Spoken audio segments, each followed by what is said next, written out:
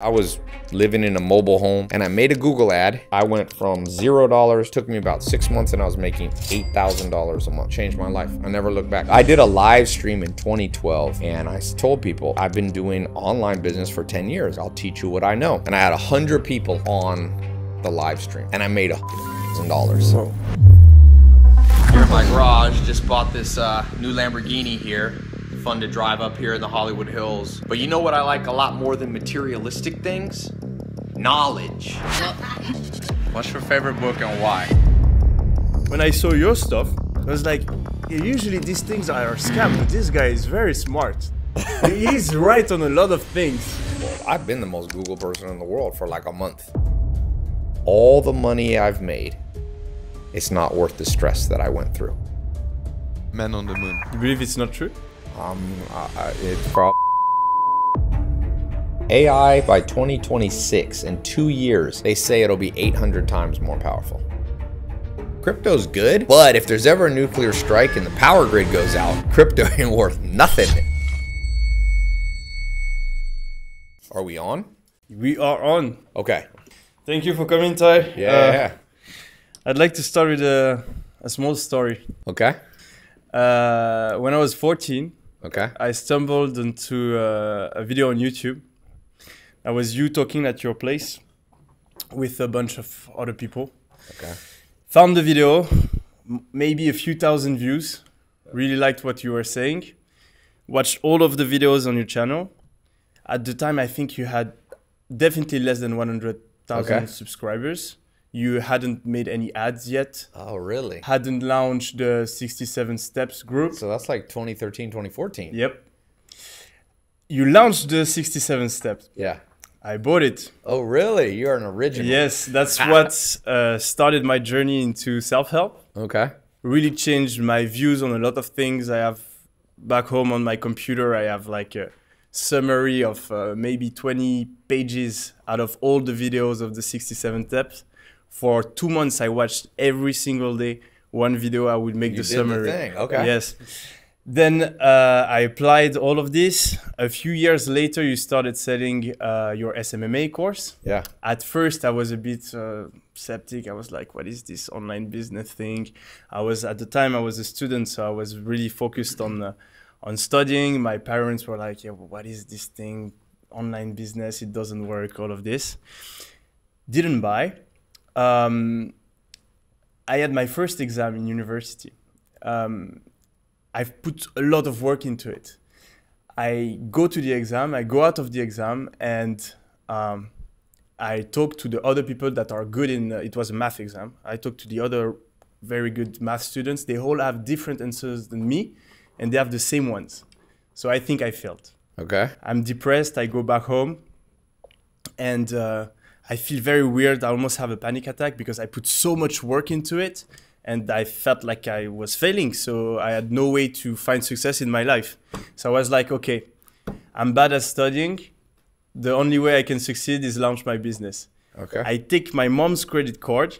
Okay.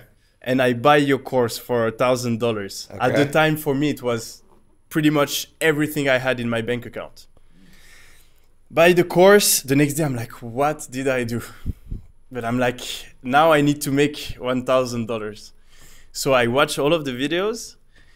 Three weeks after I bought the course, I signed my first customer for 1.5K a month. Wow. So you made all your money back? Yes, in less than a month. Huh. The months after, I signed two more uh, clients. I'm at like three, 4K a month.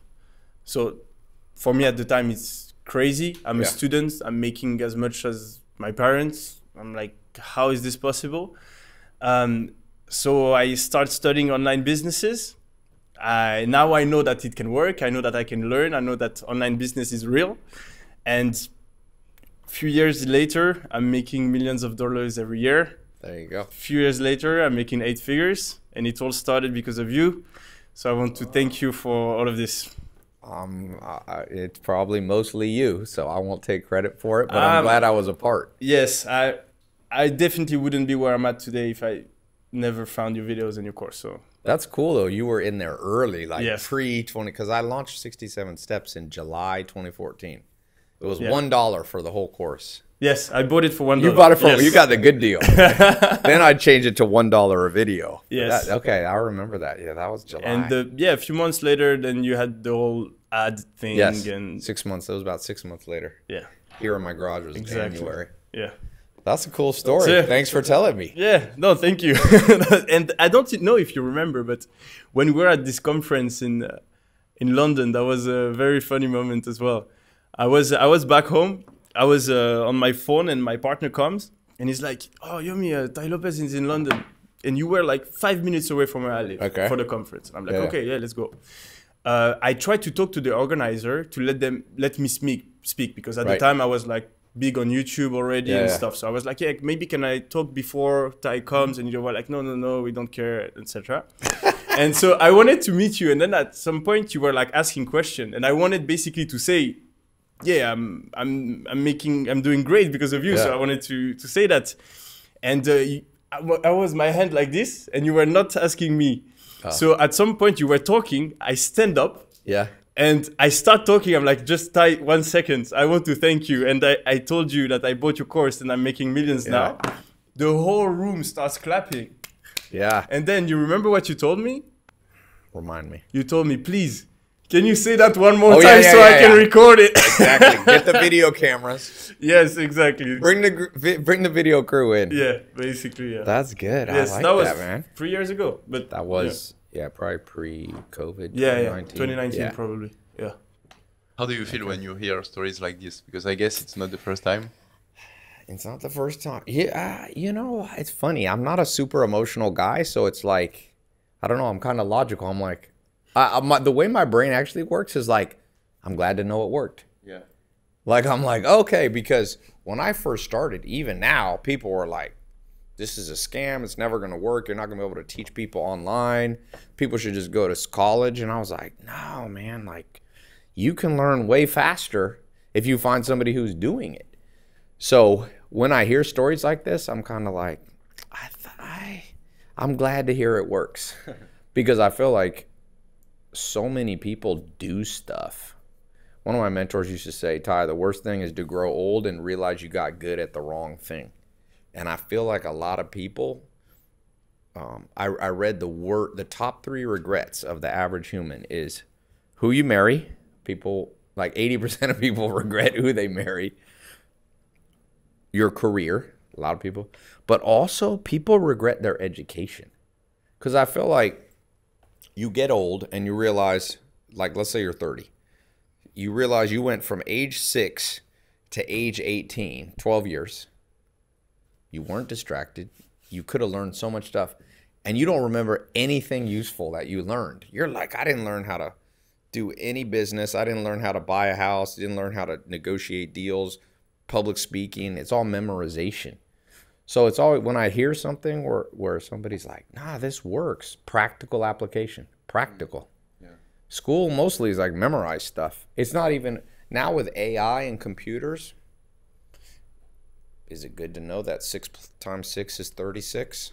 Maybe, but it's not as good as knowing how to problem solve. It's not as good as knowing how to build your own business. if I if I could grow up know six times six is 36, or know how to make ten thousand dollars a month, I wish I had spent all my childhood doing that. And why do you think most people don't realize this? humans are very look one of the biggest questions i've asked i have a mentor named dr david buss. He's a psychologist very famous now. He, he's from harvard. And uh, one of the questions i still ask him a lot is what's the science of why we're so stubborn? Because society's just stubborn. We're still teaching people. The germans started teaching people in classrooms in the late 1800s to just memorize stuff. And now, 150 years later, we're, do- I don't think there's a good reason. I think people, humans don't like risk. So for the government to change education, that's a big risk. No politician wants that risk, especially not in France. They're like, I don't want that. I mean, Americans either. Nobody wants to be the person that switched how you train kids. We talk a lot about education in the podcast. If you could change something about the school system, maybe, or the education, what what would you do? I think when kids are young, they should just run around. Like Sweden, they have like six year old, seven year old, eight year old. They do like forest school. You just like run around in the school. I because most of human, most of business, most of making money, most of human happiness is actually social skills. So letting kids run around and learn how to interact is more valuable than making people. Memorizing is only now with Google, memorizing is not that valuable. So I would I would switch the school system from memorizing things to mastering social skills. For example, learn how to read people.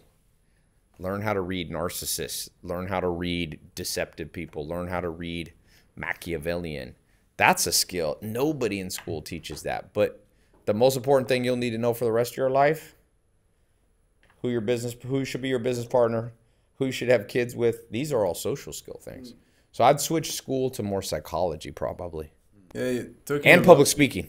Yeah, about reading people. Um, I know that uh, it's uh, something that interests you a lot Yeah. and you practice a lot. Yes. If you had to give like a small masterclass In reading people. from someone that is like starting from scratch, how, what are the main things to learn and how do you learn that? So, number one, I built a quiz company, right? And the way I learned to read people, I've tested like 800,000 people. So I'll meet somebody, I'll look at their body language, vocabulary is a big one. Listen to the word choices people make. For example, I was asking some of my team here, do you like Dubai? And I could tell I learned something about Sarosh sitting over there. Sarosh likes fancier things, which makes sense. You can, if you, okay, so you can't see on camera, but so look how Sarosh is dressed. Okay? Look how Adam's dressed. so Adam said to me, he's dressed very casual, shorts. Uh, you might want to pan over there for a millisecond, but shorts, and he's from Australia, okay? And so, and then you look over at Sarosh, Sarosh is like almost got a suit on. And so I think a lot of reading people is don't ignore obvious signs. So I can tell he cares more about status. That I call it the four M's of motivation. Material things, number one. Mating, number two. Uh, movement or freedom, number three. And mastery status. So I can tell like Adam does not care as much about status. You can see how he's dressed. He doesn't care if you all meet him and think he's a housekeeper. Like, you don't care.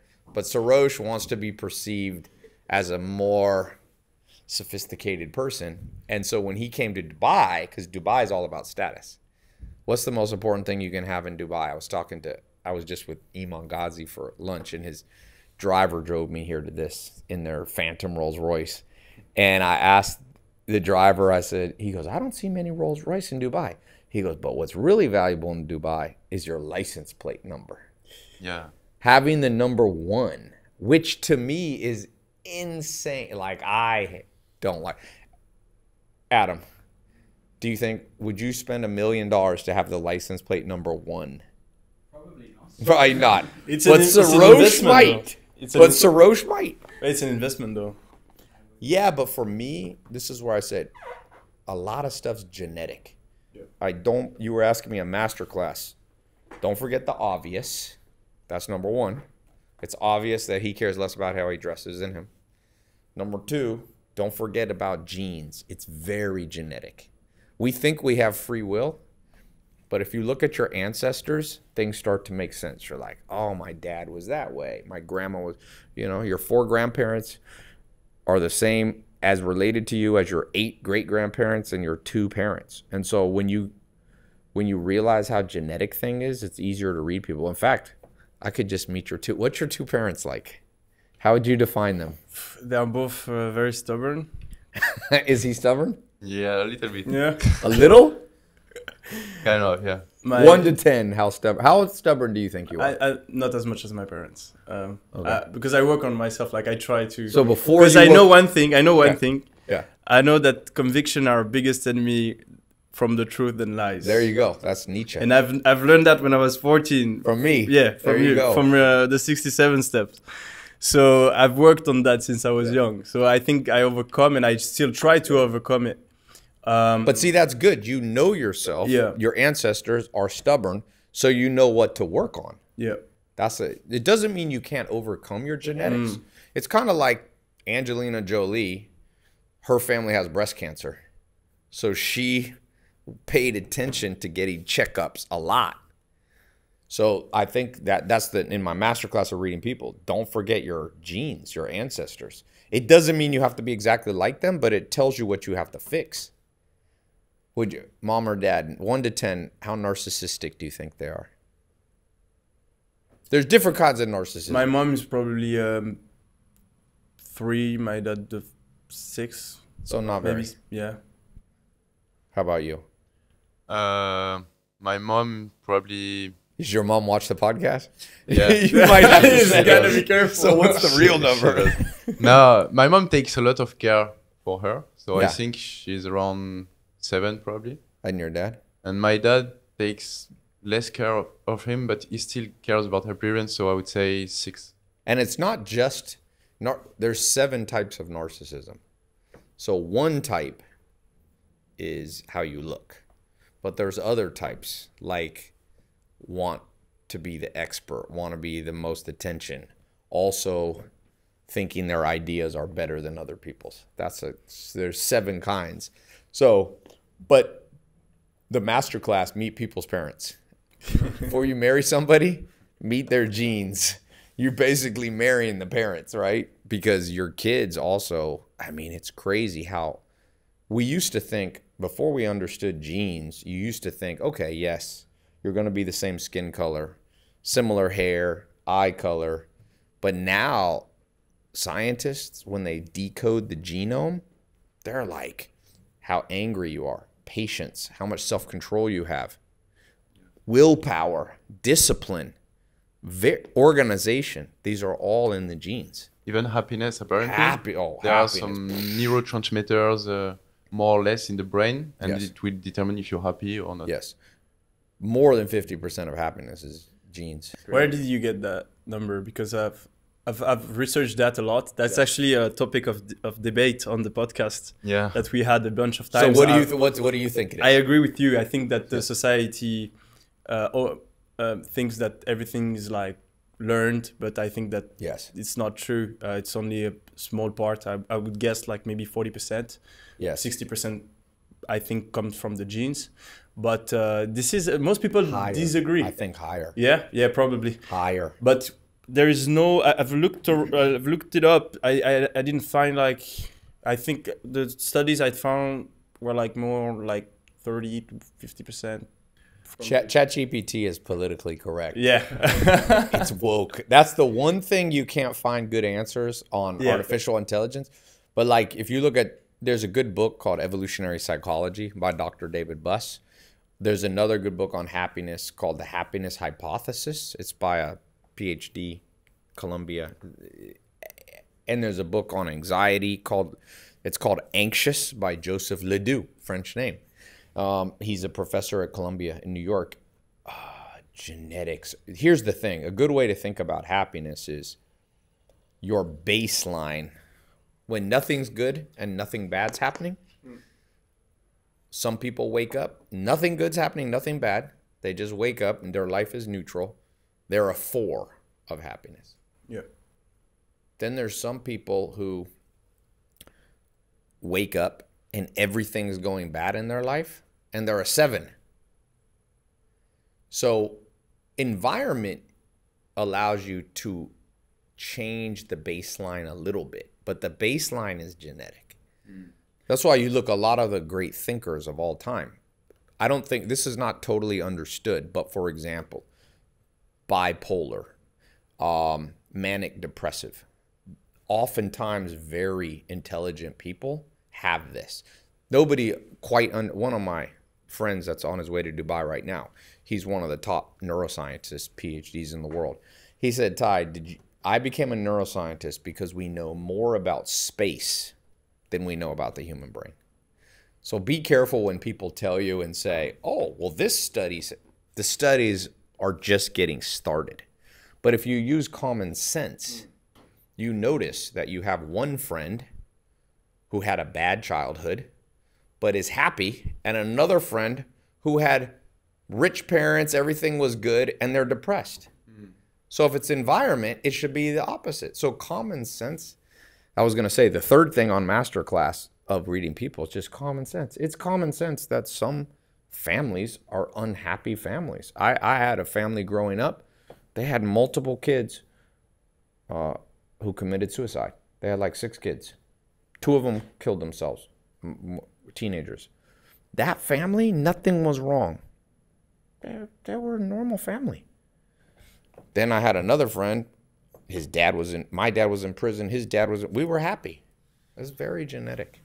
So, the good news is you can change your genes up a little bit. But look at Elon Musk, a perfect example. I just saw an interview with Elon Musk one month ago, and he said, "I don't." He said, "They said, do you want to do anti-aging, so you can live longer?"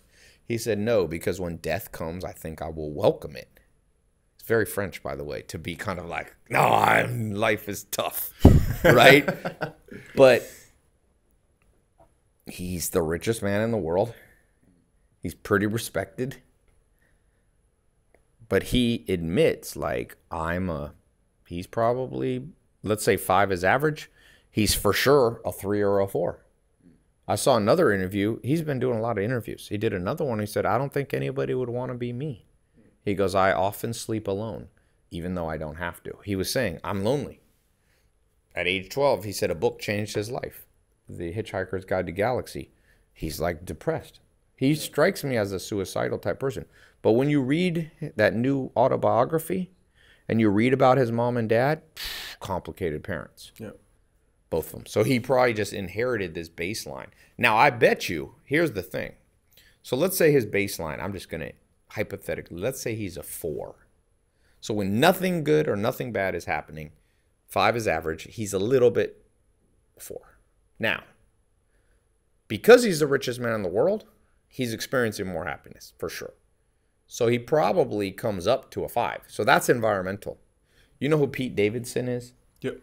So Pete Davidson, every guy's like, "Oh, I want to be Pete Davidson." He dates every beautiful woman. He's like, whatever the Kardashian. Every it's like, have you seen the websites like who has Pete Davidson dated? Yeah. But he says he wakes up super depressed every day, and he says he has to work on. He's had he has a whole mind exercise just to get himself to like a five.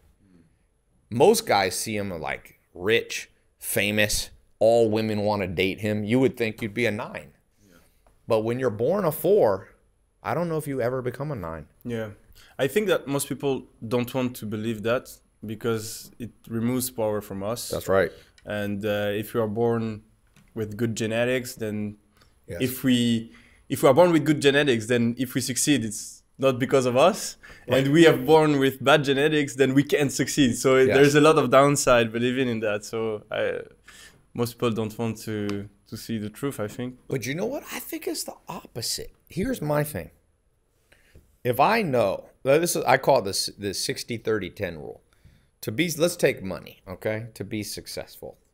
I I've been around all kinds of successful people. I started out, you know, my mom was a single mom, my dad was in prison. I never met anybody who even made 30,000. I think my mom made $10,000 a year when I was growing up. 10, 12,000. I just went back last week to see the house that I grew up in. It's a little house. It's like not much bigger than this room. When I was little, I thought it was a big house, you know, but I've seen that side. That's not rich. Then I've been business partners with people on the Forbes list. I know many billionaires, on real billionaires, not internet billionaires, people on the Forbes list. Um, I think 60% is fate, not luck. Fate and fortune, meaning things outside of your control. 30% of your financial success is you, your behavior. And 10% is other people around you, your competitors, things like that. For example, one of my mentors is Tillman Fertitta. He's a billionaire. He's worth $7 billion. He's on the Forbes. He's the richest man in Texas. He owns a basketball team, the Houston Rockets. He owns the Golden Nugget. His nephews own the UFC. How He- did he make his money? Uh, restaurants. A restaurant. He's the he owns he's the richest man in the world. Hard business. People say he can't make money in restaurants. He made seven billion. But I asked him, "What's your story?" He said, "Well, about 20 years ago, I was making a little bit of money. I owed a big loan to one bank in Texas. Okay? And I couldn't pay it. And they were going to take all my business because he couldn't pay them back. That bank just magically went bankrupt. And so in America, when a bank goes under, the US government steps in to protect. So the US government stepped in. They were so inefficient. You know how governments are inefficient and bureaucratic? They forgot that he owed them millions of dollars. Took them five years to remember that he owed them money. He said, and in that five years, he was able to get rich. But he said, if it wasn't for that luck, he's like, I would have been out and never probably become a billionaire. So you look at every story of people. First off, you're you're born. If you're born healthy, a lot of people aren't born healthy. Millions of people are born with HIV on day one.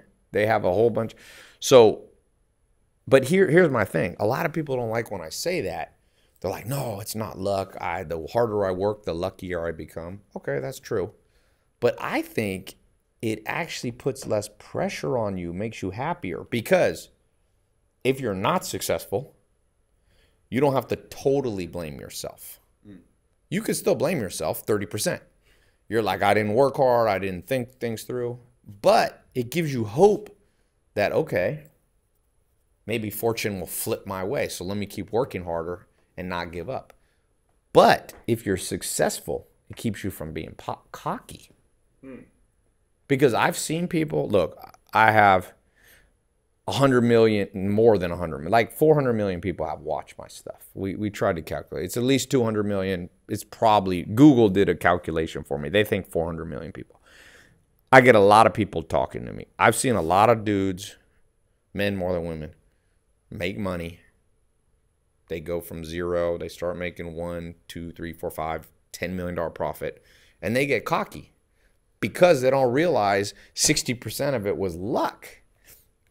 If you believed it was luck, you would not get too cocky and you'd keep learning because you'd be like, the only thing I can control is the 30%. Let me get really, and then the other 10% learn how to read people. So you can actually control. So I think it's actually freedom. I think it's no freedom. The thought that everything is you, to me, is the most pessimistic message ever. If you fail, Or if you succeed, because what happens if you succeed and then you stop succeeding? Then you blame yourself on. Here's a good example Victoria's Secret. The founder of Victoria's Secret. I don't, I don't, never met him. He built that brand. He sold it for millions of dollars. Then it became a bigger company. He got so depressed, he jumped off a bridge, killed himself, left his, jumped off the Golden Gate Bridge in San Francisco. If he had my philosophy, he'd be like, Fortune was pretty good. I sold it for millions. Who cares if the next guy sold it, made a billion? Mm. That was just fortune for them. But instead, he took a good situation in his mind and he's like, I should have held on to the business longer and I should have not. He blamed himself 100% for not being able to predict that'd become a billion dollar company. I I have a friend who's, you ever remember MySpace? You ever heard of MySpace before Facebook? yeah. My friend Tom, he started MySpace. Didn't get as big as Facebook, but it sold for $500 million. And his cut was about 50 million. He didn't get depressed. By the way, he's in my 67 steps. But he's not that depressed. He's like, I made 50 million. yeah, Sometimes I saw somebody on Instagram making fun of him. They're like, Mark Zuckerberg made 50 billion. You only made, you know, 50. And he's like, but I'm still, I'm still pretty good. I got 50 Yeah. million bucks. I haven't had to work for 20 years. yeah. That's that's the big difference between like happy and unhappy people. Like Yeah. when they see the bright side every time. That's right. And also for confidence, people that are confident when they fail, they think it's e- external Exactly. things, and when they succeed, they think it's them. Yes. and people that are unconfident is the opposite. When Yes. they succeed, they, they think they had luck, and when Yes. they fail, they think it's on them. yeah. So it's very important, and you can be very, you can change your view of yourself Yes. and the world if you use it if you Yes. use this bias in your brain Yes. to your advantage. Manipulate your own brain. That's a good life lesson. If you have one life skill, it's like be able to stick something in your ear and just go, let me reinterpret the story. Do you feel like you've been lucky uh, along your entrepreneurial journey? Um, I think that you know it's it's like stats. You can get lucky for a small period of time Yeah. uh, in a limited amount of tries, but if you replicate it, if you do it multiple times over a long period of time, then it means it's probably not luck. Um, so But that's your 30%. 30% is a lot. yeah, I think that most luck actually comes from comes the day you're born. Yeah. So I, I also agree with the part of luck that you describe, but you, if you get good genes, you're born in a wealthy Yeah. country, you get good education, you have good parents, Yes. uh, you don't have like a major psychological or physical Yeah. problem, health issues, then the rest you have a good amount that you can influence. Um, Yes. But most people. But remember, life's realize not this. over. Like, there can be a nuclear war. Yeah. Most smart people think right now there's a 5 to 10% chance of nuclear war. Even somebody like Warren Buffett, he's been saying that. He's like, next 50 years, it's a high likelihood there'll be a nuclear war. There's just so much nuclear. And you see right now, Ukraine, Russia, Palestine, Israel, Middle East, it's a big deal. And all these countries have some access to weapons. So me and you can say, oh, well, we're successful. But look what happened in my grandma's time. Like, Germany hmm. becomes wealthy, then it becomes poor again. France becomes wealthy, becomes you gotta it depends how long your time horizon is. Yeah. We need to have this conversation in 20 years. the longer you live, the more time there is for fate and fortune. You know, if you read the ancient books, the Greeks. So you like, think luck increases uh, over a long, long, both directions. in both directions? Fate getting better, Yeah. fate getting worse, fate getting better. Okay. If you look, for example, look at companies. Black, the first big, they just did a new movie on BlackBerry, the big company before this iPhone company. I mean, it, it there's a new movie called BlackBerry. It's a good movie, a good business movie to watch. It was the dominant company, and then it just, yeah, you could say the CEO made a few mistakes and this, hmm. but mm, it's luck because if the one guy who went to work for Apple under Steve Jobs, who came up with a touchscreen, sometimes it's little things like his wife wanted to live in Seattle and didn't want to live in New York. And so this one guy goes here. Butterfly effect. Don't you think that if you put the best entrepreneur ever in this situation, it turns it around? Maybe, but okay. So if me- you are very, very good, you negate. So who's the influence. best? Uh, I mean, by in your opinion? by standards, If you had to it's guess. Elon Musk. Okay. So you ever heard of the, the winner's paradox? Yes. When you win, you win more. No, no, no, It's a different No, one. So let me give you an example. Yeah, I'll give you a simple example. Paradox. Okay. let's say 10 men or i was just have you seen this movie alive where this football team in south america crashed there's a movie called alive there's a book you should see this book anyway so imagine just hypothetical somebody's flying from brazil to colombia the plane crashes okay there's 10 guys in the plane small plane and let's say one guy's just sitting in the back of the plane okay and the plane breaks in half, and the first nine die, guys die because they're in the front of the plane, and this guy was in the back. It's not really skill. He didn't purposely go, "Oh, I'm safer in the back." He just sat there. Now we write books about him. We go, mm. "What was this guy's morning routine the day before he woke up?" Mm. Oh, he woke up at four in the morning. Oh, if you want to be successful and survive anything, four in the morning. Oh, he liked bacon. Oh, bacon is really. You see this with diet. There's one dude who's vegan, Yeah. who's healthy, and another dude. That's because genes and fate and randomness is very powerful. So let's say Elon Musk. How do we know? I think what's So e- let's take Elon. Do you know that four years? I remember the first time I ever heard the name Elon Musk. I think it was 2009. I was living in Hollywood, and I was reading the Wall Street Journal, and the front page it was a whole front page. It said, "The man who scammed his investors out of three billion dollars." He borrowed $3 billion for, it was for Tesla, and they're going to lose everything. He was bankrupt almost every single year 2013, 14, 15, 16. He even says this. What really saved Elon Musk was probably COVID. COVID changed so many dynamics of the world. All of a sudden, now he was successful. Don't get me wrong. He's obviously skilled. He's for sure skilled. But PayPal. Uh, so you have Elon Musk. He sells his first company. He gets into tech. Actually, Bill Gates is a good example. You know the richest man. Is, if you want to actually argue, why Elon Musk? Why do you think Elon Musk is the best? I Just tell me why. Because he succeeded multiple times in different interest industries, uh, very big.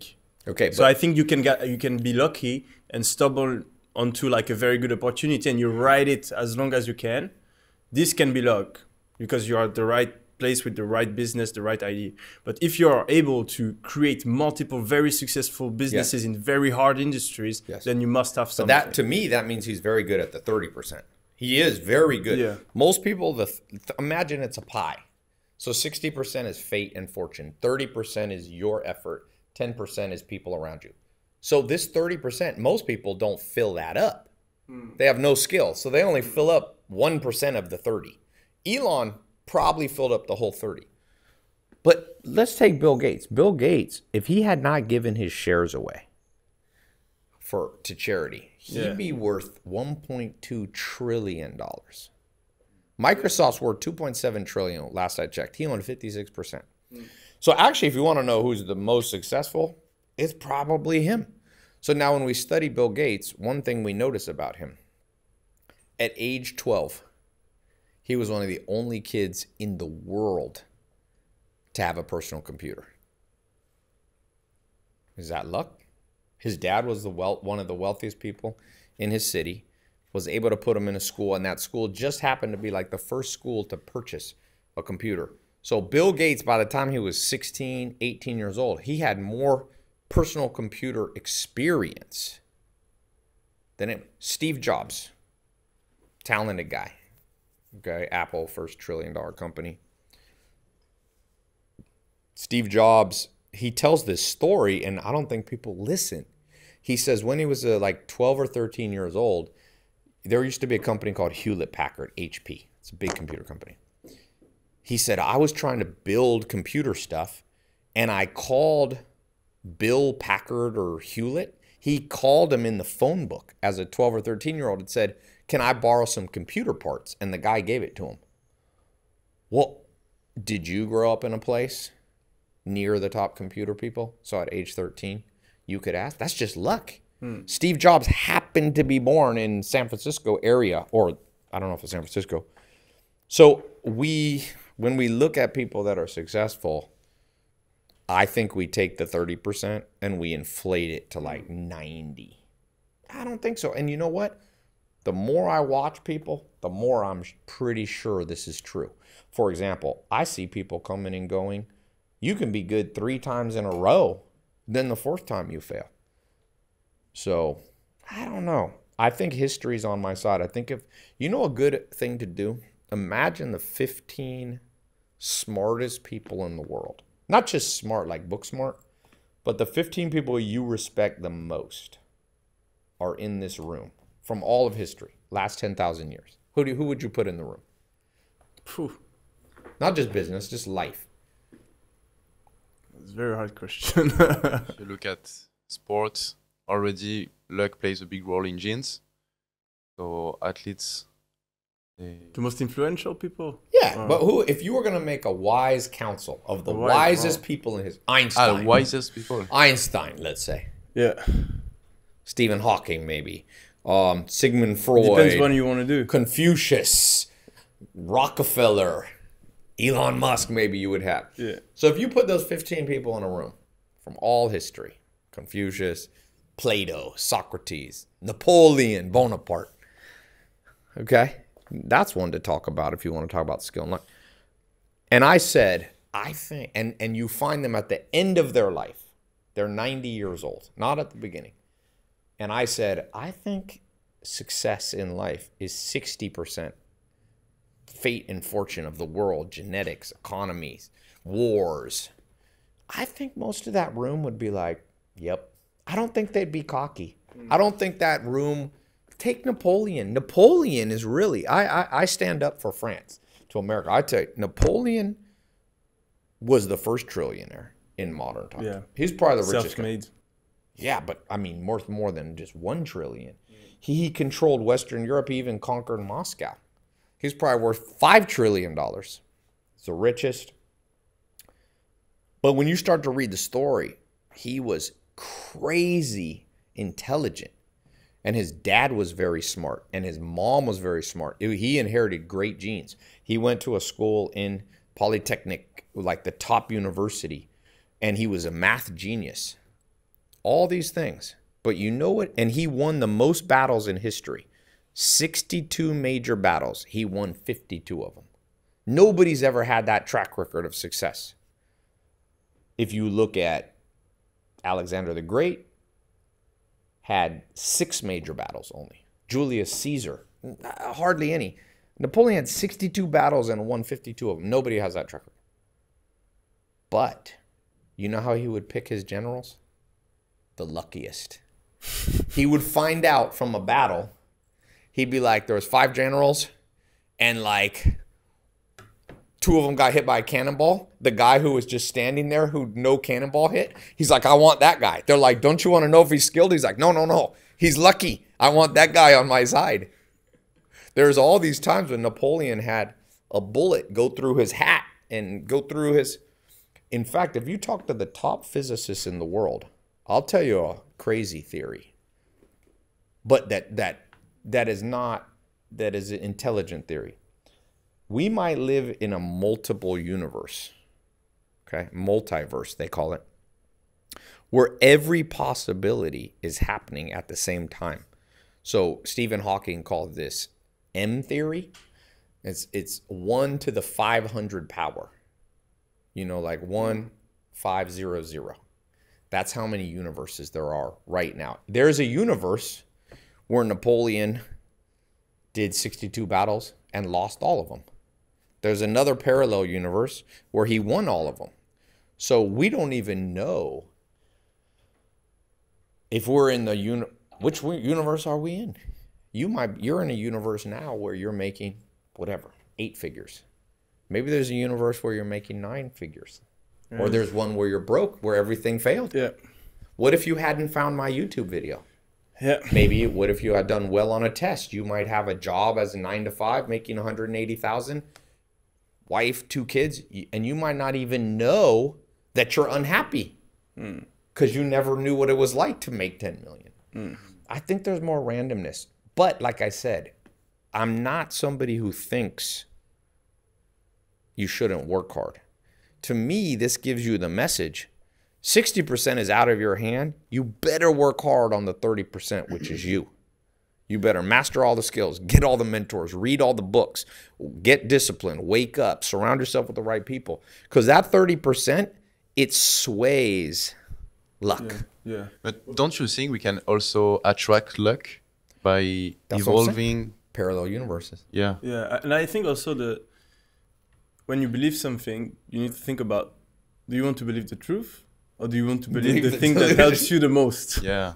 And I think that the most you believe that success in your, in your is in your control, the more you will work, the more you will try to improve, and that's I think also a good But mindset. to 30% is a lot. Is a bit yeah. I'm not saying. But it gives you a lot of room for excuses. You know, when you fail, you can say, "Ah, I was unlucky," or if yeah, you but then you just your wake up and start again. Yeah, but if it, you think if you think it's in your control, you're like, oh, I failed. It's my fault. What can I improve in order for this not to happen again? Yeah, but I If you think, think that it's only anyway. lucky, okay, I'm gonna try one more time, and But you it's don't not 100% luck. It's only 60. Yeah. So if I fail, I go, well, Tai, don't get too depressed. Yep. Everyone fails. Everybody, look, man. Name somebody. Just name name a hero of yours that we all know. Name any hero. Anyone you admire. Who is somebody? Um, like a superhero or Anybody. No, no, no. A person. a person. Um, Who do you admire? I would say I like uh, at the moment I like Alex Hormozi. Okay. You know him? I I I know all those people. I mean, I don't know them personally, but all these people. yes, I've been in this space a long time. Do you think he's had failure Yeah, probably. and he just kept going? That's a little bit luck also, because if you think about it, this character trait you can inherit it from your parents, or you grow in the right household where Yes. you had to be resilient from a young age. So luck is a little bit of everything Yes. and nothing at the same time. Yes. So it's a very complex topic, I Yeah, think. resiliency is very genetic. So some people, I'll give you an example. Like, there's people who have bad childhoods. They've done scientific studies. They have, it doesn't affect them at all. Hmm. People grew up super poor.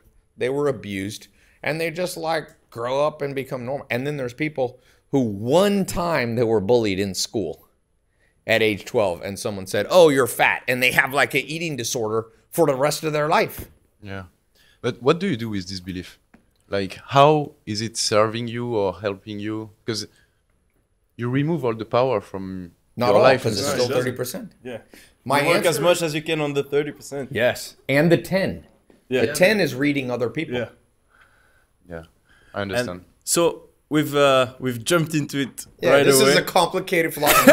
Look, uh, people people don't like to hear it, but I'm telling you, Yeah. if you get the 15 wisest Yeah. people in history, almost all of them say at the end of their life, they're like, Mm. "Man, I thought I could control everything, but I can't control everything." Mm. Yeah. So quickly for the people that the few people that don't know about you, we have a lot of French Yeah. people watching. Uh, can you summarize what you did, your story very fast? yeah. And then I have a few questions about it. so fast. So yeah, I started a business. I started being an entrepreneur.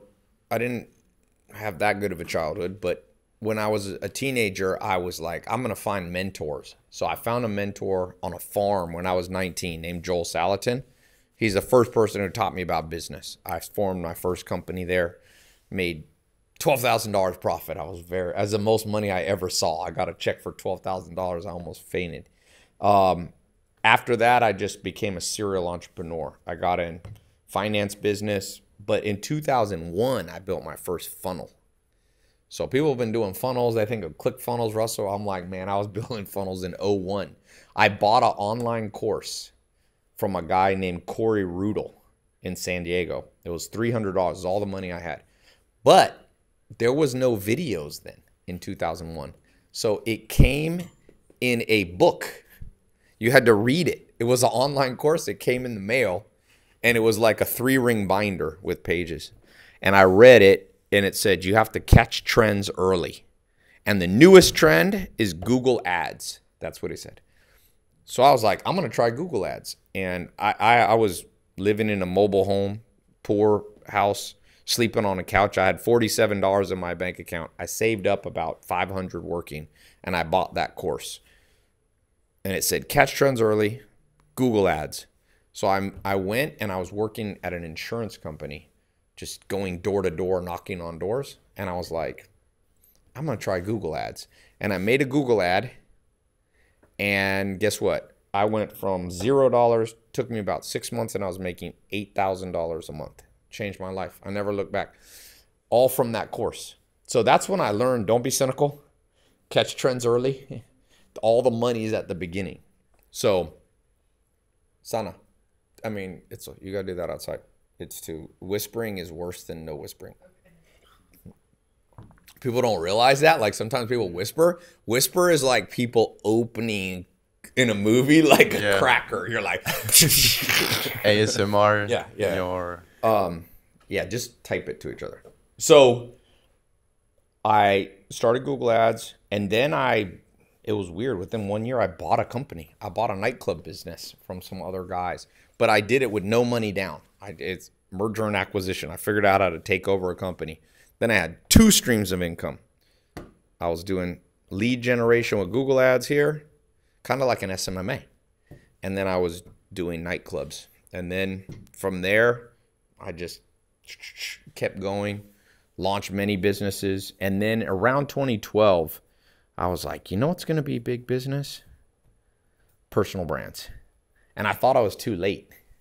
I was like, oh, I'm too late. Joe Rogan has a podcast, Gary Vee, and Tim Ferriss. I don't know if you know Tim Ferriss. Yeah. I was like, man, I'm too late, but I think I'll just do it anyway. It's funny. I remember being like, I'm I'm way too late. So I started. I did a live stream in 2012, and I told people, I'll teach. I've been doing online business for 10 years. I was like, I'll teach you what I know. And I did a live. There was no live Instagram live. There was nothing live but I got this software that corporations use, and I had a hundred people on the live stream, and I made a hundred thousand dollars. Whoa. I was like, that's a lot. I mean, the conversion rate, there was no competitors. I was the only person really in the world reaching the whole world. There was some niche people, but no one like me. And so 2012, I started. Instagram was new. I started posting to Instagram. I had been on Twitter since 2007. I had actually been on MySpace and Friendster in 2001. So I was already like 10 years. I knew social media would be big. And I started testing live streaming. And then I did this TEDx talk called uh, The Law of 33%. And it went crazy viral. It went to like seven to 10 million views with no marketing. Just, and then I was like, there's something here. Let me make I'm going to take everything my mentors taught me and I wrote it down on a board and it was 300 things. So I was going to launch a course called the 300 things and my friends like, "No, it's that's too much." So I had just read an article it said that uh, the average person takes 67 days to change their life. So I go, To okay. Change your habit, you mean? Change your habit. Yeah. Yeah, change your habit. So I took the 300 and I took the top 67 and I recorded one video on it and I sold it for $1 a video. And, and I made a viral video called Here in My Garage. It was like the first kind of viral YouTube business video. And it went, it went so big. It was back then there was, I was the, I was like the second biggest advertiser in the world. I mean, nobody was doing it. Catch trends early. The, I'll tell you this about luck. The number one thing that will make you lucky is to catch trends early. How do you do that? Don't be cynical. Open minded. Yeah, because even me, like the more successful you get, you get cockier. And then you see other people doing stuff that is, is telling you that's a new trend, and you'll be like, ah, I know better than them. And then you miss the trend. And what I- trend do you think there is right now? For beginners or advanced? Both. Well, there are different answers. Beginners need to catch different trends. It's like surfing. if you're a beginner, don't catch a 20 meter wave. You're going to die. Yeah, but if you're advanced, beginners. you want to catch a 20 meter wave, Yeah. like in Portugal. So I would say for beginners, you know, that, believe it or not, even though it's saturated, 300,000 new people use the internet every day. So the market's getting bigger. So all the for beginners should do SMMA, ecom, like all, all that basic stuff Yeah. still works. It'll probably work for another. You probably got two more years before it gets crazy saturated. Because now, even though it's saturated, 300,000 new people use the internet every day. So it's like offsetting. If you're advanced, building a diversified company, buying buying businesses, that's the trend. And that'll be here for. So I'll be selfish a bit. Yeah. I'm interested in that as well. Yeah. Uh, buying businesses, making deals. I know that it's been a big focus of yours uh, Yeah. for the past few years. Quick masterclass on how to do that. How to buy? Yeah, so we got the masterclass on I'm. Um, start out with start out buying companies that you don't have to put a lot of cash. Like the first business deal I ever did in 03, I put in zero money. Then the, I bought another business, I don't know, 2012, 2013. That was the first online business uh, about 11 years ago. That business, or one, uh, maybe not the first, one of the first. I had bought a few before that, but try to not try to negotiate a seller finance where the seller you just have to pay them a little bit per month. Because what i did in 2012 i bought two business partners were fighting. They had hired me to mentor them right? They were fighting and i realized these two business partners are never going to get along. I was like you need a divorce and i said i'll buy you out you're 50% and they were like hell yeah they don't have to be in business with this other person but I said, I'm only going to give you $10,000 now. And then every month I'll give you, I don't know, $20,000 a month until I pay you. I think I was going to pay him $500,000 over like two or three years. So I bought. I got half of the business, and I looked at it. They had no email marketing. So I said, I'm going to send a daily newsletter to generate more sales.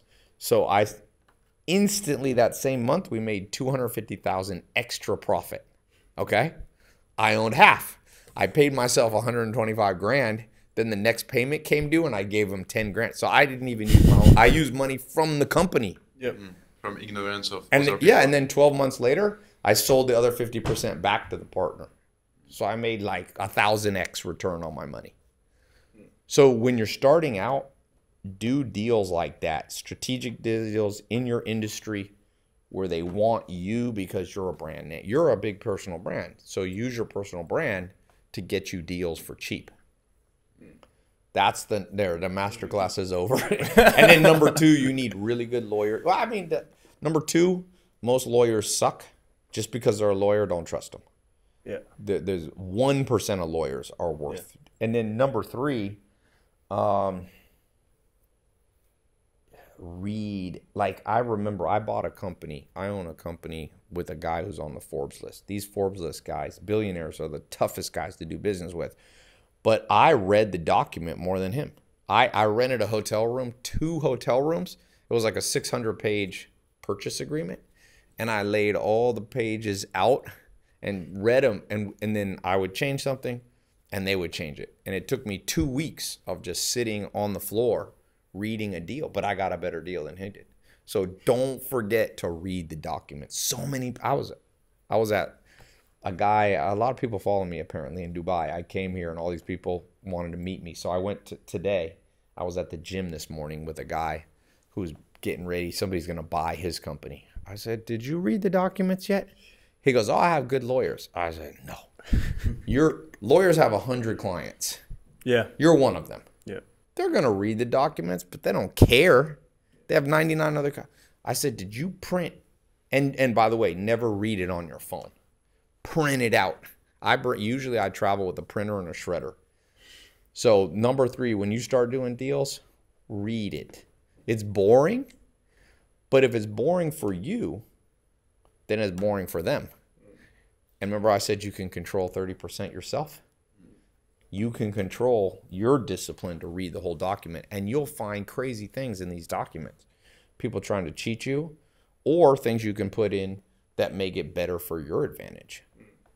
Yeah, I Yeah. think like most uh, professions are like overrated. When you when you grow up, you you think all the doctors they know everything, all the lawyers they know their stuff, and in business you learn that uh, yeah, the top one percent of people they are very Yeah. good, but ninety nine percent is average, and you don't want to give your health or your business. Yes. Uh, if it's legal or not what you're doing to to someone that is like not interested and like you said it's not they're it's not you're you're the only person that cares Yeah. as much about Like your yourself, life exactly. no one is gonna And like a doctor, much. a doctor has a hundred people they see in one month. yeah How much should they're gonna think about you for five minutes? yeah And then you leave and they don't think about you anymore.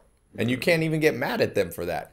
No, yeah, I think it never never give your health yeah. uh, the responsibility of your health to someone else. That's right. Never give the legality of what you're doing to someone else. Yes. And never give your education away That's to right. someone else. Yes. So don't let the state, the, the Yes. teacher, the school system teach you what you need in life because they don't care as much about your life as you do. Yeah, And, uh, drop I- out of the system. Yeah. The system does not care. that- that's also something I wanted to ask you. Um, you seem very passionate about like learning. You know a lot of Yeah. stuff. You've been studying a lot. You talk a lot about mentors. Over the last ten years, what are like the big paradigm shifts that you had about learning? When were you like, haha, now I know how to learn more efficiently. How I was doing this wrong about learning. You read one book a day, right? yeah. Yeah. Sometimes two. I read it. In, I'm reading an interesting book now. Sometimes books take a couple days. I'm reading a book on free will. W- Is there free will or luck? I was talking about this with it's uh, uh, right on this subject. I'm right. It's called Determined by by a Stanford professor, Sapolonsky or something. It's a wild book, boy. Uh, determined. Okay, I was talking about this actually two days ago with my friend that's right Yeah. here. Um, it's hard to explain during a podcast, Yeah. but yeah, Sam Harris It's- has another one. Yeah. yeah. A lot of smart people don't. They believe everything's luck. Yeah, a lot I- of smart people. Are I can I kind of do. So I think I think that paradigm shifts for me. I mean, one of I'll tell you a simple one. Read directly the books of the most intelligent people. So here's an example. Sigmund Freud, the psychologist. A lot of books were written about him. And a lot of people read books about him. No, read his writing if you want to know like don't read i read stephen I, there's a lot of books about physics but probably the most respected physicist is stephen hawking read his book too many people are reading books that are like new york times bestsellers and they never read the most intelligent people's actual words themselves a lot of people say sigmund freud is a disrespected scientist. We've disproved his theories. Hmm. Well, of course we've disproved. He was born in 1860s, I think, or 18. Yeah, of course they didn't even know about bacteria then. But when I read Sigmund Freud, I think he's the smartest person to ever live. And if you read Sigmund Freud, I mean, I've been telling people for 10 years, smartest person I've ever read is Sigmund Freud. And people were like, no, my college professor said he was weird. He believed everybody wants to sleep with their mom and he did cocaine. Well, that's true. But you could still be the smartest person to ever live because everybody. And I read some, he did letters with Albert Einstein around World War II. They had a debate. And if you read Sigmund Freud, he's way smarter than Einstein. You read those letters, you're like, oh my God.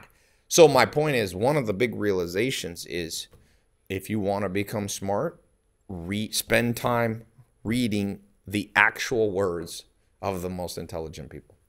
So I don't read as much modern stuff. I do, but I like books that have been around for a long time because that means they've stood the test of time. Yeah. So I do read some modern books. Like I said, I'm reading this book Determined. It's a new book. But every day, let's see. Let me pull up my iBooks. Let's see what I didn't have this planned. You read I- on your phone? Sometimes I do audiobooks. Let's see what book is there you go. Sigmund Freud is open. I probably read this book. This book on happiness is the greatest book on happiness. It's the most intelligent book on happiness. Civilization is discontent. Pfft, Nothing. I've read every famous book on happiness. I've read all the religious books. That's the most intelligent 10 pages I've ever read on happiness. Not even I think it's I think it's here and the second best is like here. So you can get very far if you want to learn investing. Read Warren Buffett. He has a book which is all the letters he's written to his investors every year from the 1960s to right now. Once a year, he writes a letter. That's the best book on investing. If you could only have just one book, just that book of letters. But everybody I meet is like, I'm like, have you read it? No. Well, that's crazy. The best investor of the last hundred years, nobody's. Read Rockefeller. If you want to be a businessman, Rockefeller was, I mean, he was worth $600 billion. I meet people. Have you ever read Rock? You know Andrew Carnegie? So the richest man was Rockefeller. Second, Carnegie wrote a book called The Gospel of Wealth. Have you ever read it? Nope. Read his words. So I think the biggest, I think we live in a world where we forget. We read books by people who are good, just good at getting on the New York Times bestseller. But the be- I mean, who's a better business book? I have it on my phone. Sometimes I feel like old books are less relatable because the vocabulary used is more complex and maybe new books are more appealing because it's easier to understand. Yeah, but don't do it because it's more appealing. yeah. That's It's like trap, saying that's like saying I took a little class at the gym with The two kilos because it's more they Yeah, have music appealing. and Yeah. dancing. well, but if you want to get strong, there's a corner of weights where it's boring and you're just sweating, but you get strong. Here, the car this this book's not that it's only this this book You can read in one afternoon. It's everything he knew. And by the way, that's that's the best businessman to ever live because Carnegie or oh Carnegie, he only worked two hours a day. He said, "I'll never work more than two hours a day," and he became worth four hundred billion. And Rock, Rockefeller, this is what I learned from reading actually Rockefeller's words. When he was about 55, all the hair fell out on his body because of stress. Like all his eyebrows, his eyelashes, his hair. It's a response from stress, right? And somebody interviewed him and said, What do you think about this? And he said, All the money I've made, it's not worth the stress that I went through. And that's why I learned don't try to be the richest man in the world. Because if you go to the words of the richest man who ever lived, at least in the last 500 years, he said, It's not worth it. It's not worth it. If he could do it all over, he's like, Look, I'm, my, I'm falling apart. But the second richest man made not 600 billion, but 400. And he said, I'll never, after age 30, he said, I'll never work more than two hours a day. So who would you rather be, Rockefeller or Carnegie? I'd rather be Carnegie. So I've also learned it's good to be second. Let somebody else be first. They take all the pressure. like Elon Musk is getting all the pressure, and Bernard Arnault is number two. He's living a better life. So I just ask you, um, do you have an end goal in mind? end goal. And if so, what it is? I mean, not financially because I feel like I'm not that motivated by actual money. I'm motivated in the four M's. I'm I'm very high on f- movement, freedom. So I like adventure. I like trying new stuff. I like so for me, I think the end goal is just keep experimenting with new things till I um, die. it's like What was the happiest day of your life? happiest day. Man, that's a good happiest. How about happiest year? Yeah, no, You know, it was a happy year, 2013, because I was building my personal brand, something new. I like new stuff. I wasn't at the top, but I was growing fast, and there was like progress every day. They say you're happier if you make, if you go from making a hundred grand to making a million. You're way happier than if you go from a hundred million a year profit down to 10 million. Even though 10 million is still way more than what the brain only goes by contrast. Yeah. So 20 also 2013 I didn't have a lot of responsibility. I wasn't that well known. Being well known it can be is not as good as people think. It comes a lot of problems. You you get people attacking you, people hating on you, people. And so 2013 I was a local celebrity. People in Hollywood knew me, Los Angeles. But I wasn't globally well known at all.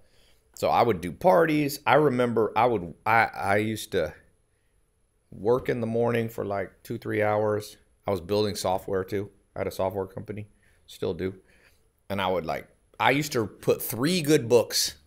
Be like I'm gonna read three books in three hours, and I would put three books. I I wouldn't always finish them, but I'd read like half of one half. It was the equivalent of like one and a half books and I didn't have anything to do, and I'd read and I'd think about it. Then at night I'd go out with friends. I had all I had all my friends working for me. That was a good year. It's good to be.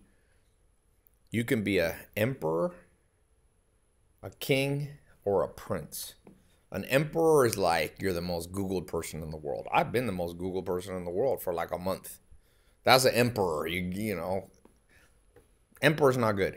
you don't want to be emperor. That Elon Musk is an emperor of wealth he says i don't like life you know um, you see the influencers now the most well-known most complicated life king is pretty good or prince i think is when you're the happiest So if you could, you would unfamous yourself. probably. I think you so i think most men are happier with some fame but local fame is good. So like let's say you live in paris.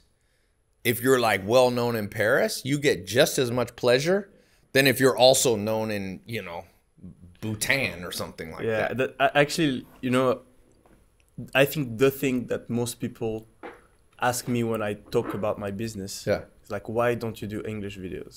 yeah And one part of the reason is I really like the fact that I'm like known in France, but when I'm here, almost Yeah. no one knows me. That's and a I good can deal. go to 90% of Yes. the world. No one is gonna know me. I can be myself. It's all good. Yes. But I can also have all of the advantages of Yes. being known in France.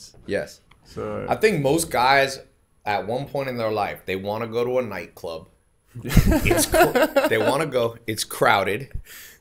There's ropes. They're not letting anybody in, and you pull up with your car, and you get out of your car, and like the security's like moves it and open. Every man wants that once or twice. This is Yomi all summer in south of France. You like that? Yeah. yeah, yeah. That's it. But once you've had it, like I've had it now, Yeah. then it's not as important. You're used to it. Yeah, now if I go to You a club expect- and people don't recognize me, but I've had it where it's like, oh, but that's also genetics. Some people love that more than others, you know but about most thi- men like that. it's funny. Like um, I'm thinking about buy, um, buying a nightclub, There you go. and I was actually thinking about that. I was thinking about the fact that it would be a great idea to like kind of create a queue yes, and all of the table you don't have separate queue for tables Okay. you know you have one queue but you have one person that is like has a picture and can see who booked the table and comes like oh, oh, oh, oh Yes. and takes the person Yes. in front yes, that that would increase this, the customer Oh, yeah. satisfaction by a lot i Exactly. think you can use this this way of the it, it's crazy because it's just you you it's like first class you know when you you take a a flight Yeah. most people the moment where they appreciate the most the first class is when they go in Yes. front of all of the people that are Yes. waiting yes. the the Status brain is a yeah big. That's one of Dr. David Buss's psychology focuses is on the power of status. It's more men than women have that. Women like status, but not as most women's dream is not going to a nightclub and they open it. That's a men like things that are show power. yeah But yeah, you're a king, right? So you're you're not an emperor. You're not internationally known. If you go to you know Taiwan, they're not going to be like ah. But you're a king. Yeah, France is a big country, and you're well known there. So that's good. I don't think you should try to be an emperor. I think so I think you can be happier by knowing when to stop too. Yeah. Some people never. That's actually Napoleon Bonaparte's problem. He never could stop. He should have just stopped at 60 battles. The last one is the one he fucking lost, you know? So it's it's good to be ambitious, but you also have a man has to know his limits. Mm. And and that's that's something you have to find out. It's kind of like, you know, fighting. I knew a guy that was super good at, you know, he was a strong guy who'd pick fights with people and he'd win every time. But one time there was a dude just too big and too strong and he got knocked out and I said, "You didn't you didn't know your limits. That guy's too big for you, you know?" So I ask you about the happiest day of your life. Um, I don't know if you remember, but when uh, we've met in London, I told you that I made a million in a day with my e-commerce Oh, yes. uh, website. Was that your happiest day? no, definitely not. No. No. Yeah. but it was a happy day. Uh, yes, not your worst when I said that, Yeah. you said, "Yeah, a few years ago I made one million in an hour." Yes, I've done that before. When is the day you made the most money, and how did you do it? I mean, what year was that we met? That was 2019.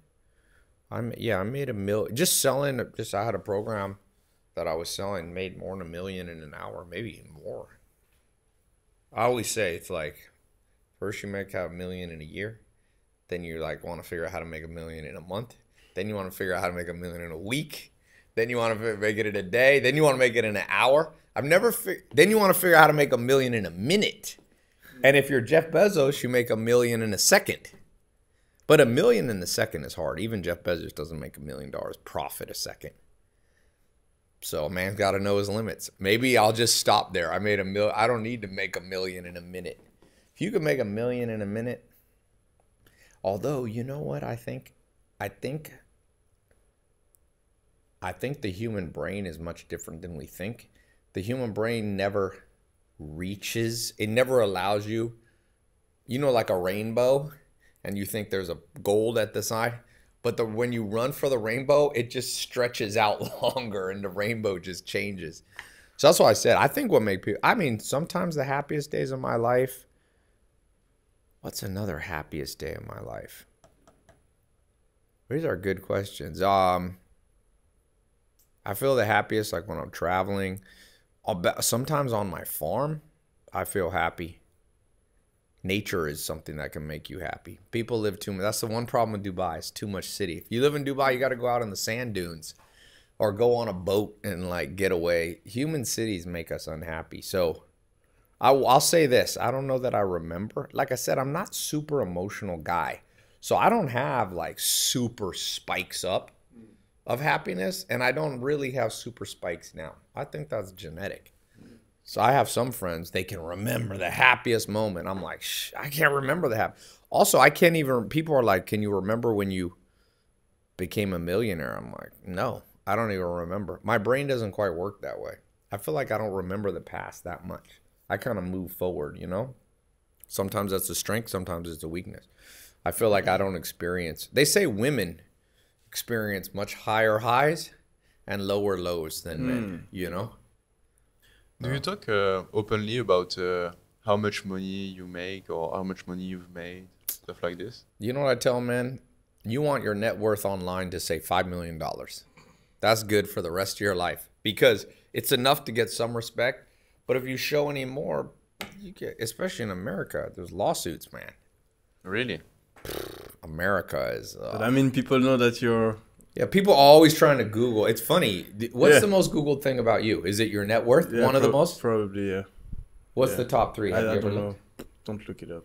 But if you just go to Google and you start typing your name, you'll see what comes up as you know they give suggested questions. don't don't know. Yeah, I think. Yeah, let's see. Try it. Type in your own name.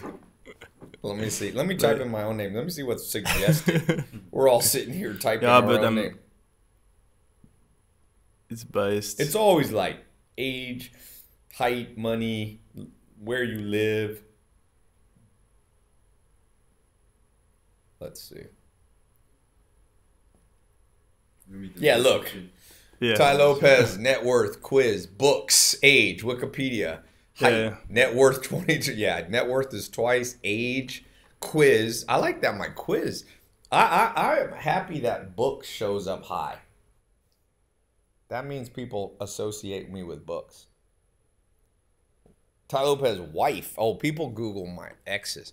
Sometimes I had a couple girlfriends that were uh, on my social media for years that were super popular. I dated one girl that was, I mean, everybody loved her. It was funny. It was funny. I learned a lot about what men's taste in women. She was very kind of girl next door.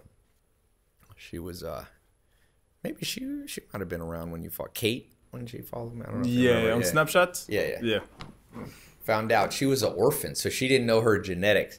She's half Swedish. It's like you you mix half Swedish with anything, you get a beautiful woman. Uh, You can be black Swedish, Asian Swedish, anything. I Swedish. kind of disagree. You I went to Sweden for the first time last year, and I felt like it was overrated. Where'd you go? What city? Uh, Stockholm. Yeah, but Stockholm. A lot of Stockholm is not Swedish people. It depends where you go. You might have gone to the Yeah, touristy met areas. lots of Swedish people. Yeah? Yeah. But it, differ- it depends on taste again. Yeah, what's like your I, taste? I like brunettes. Okay, well you went to. You're like, Pretty obvious. you're, you're like Tai. You're not gonna believe this. I didn't like this restaurant. I hate fish, and I went to sushi place. That, that, that you went to the wrong restaurant, man. yeah. You would like Brazil. I like French girls.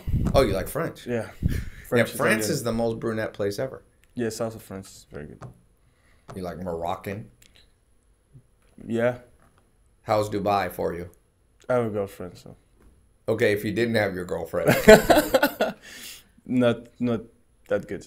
what's bad about Dubai for dating? Um, I feel like Dubai is a very expensive city. Okay. Um, so lots of like I mean most girls don't make as much money as guys. So most people that come here are like guys, entrepreneurs type. Yeah. So the girls either they're like into they're like waitresses or hostesses or they work with Emirates. Right. But but the rest is like uh, they come with the boyfriend. Yeah. And then you have a lot of like escorts and stuff. Yeah. But you don't have a lot of normal girls. They don't come Yeah, yeah. because you don't come here for studying. You don't, Yeah, yeah. you know. So that's where there's a problem. So There- where's better, south of France? yes. Where do you think? I prefer Dubai, honestly. You prefer Dubai? Yeah, yeah. I like um, because usually women in Dubai they are more um, Materialistic. materialistic. No, they take m- more care of themselves. And French girls sometimes they are a little bit too simple and they don't have a lot to say. And so uh, yeah, I- you guys do not agree. I, I, I prefer. I prefer. Usually, didn't I prefer girls from Dubai. Keep talking for No. a second. Did you see his face? No, because usually in Dubai you can meet girls from all around the world. So it's. I mean, I've never tried to meet a girl in Dubai, so I don't know Ah, actually. But Okay. You never met a girl in Dubai? no, because I was with my girlfriend all the time I've been here. She's French? yes, South France? yes. What about you?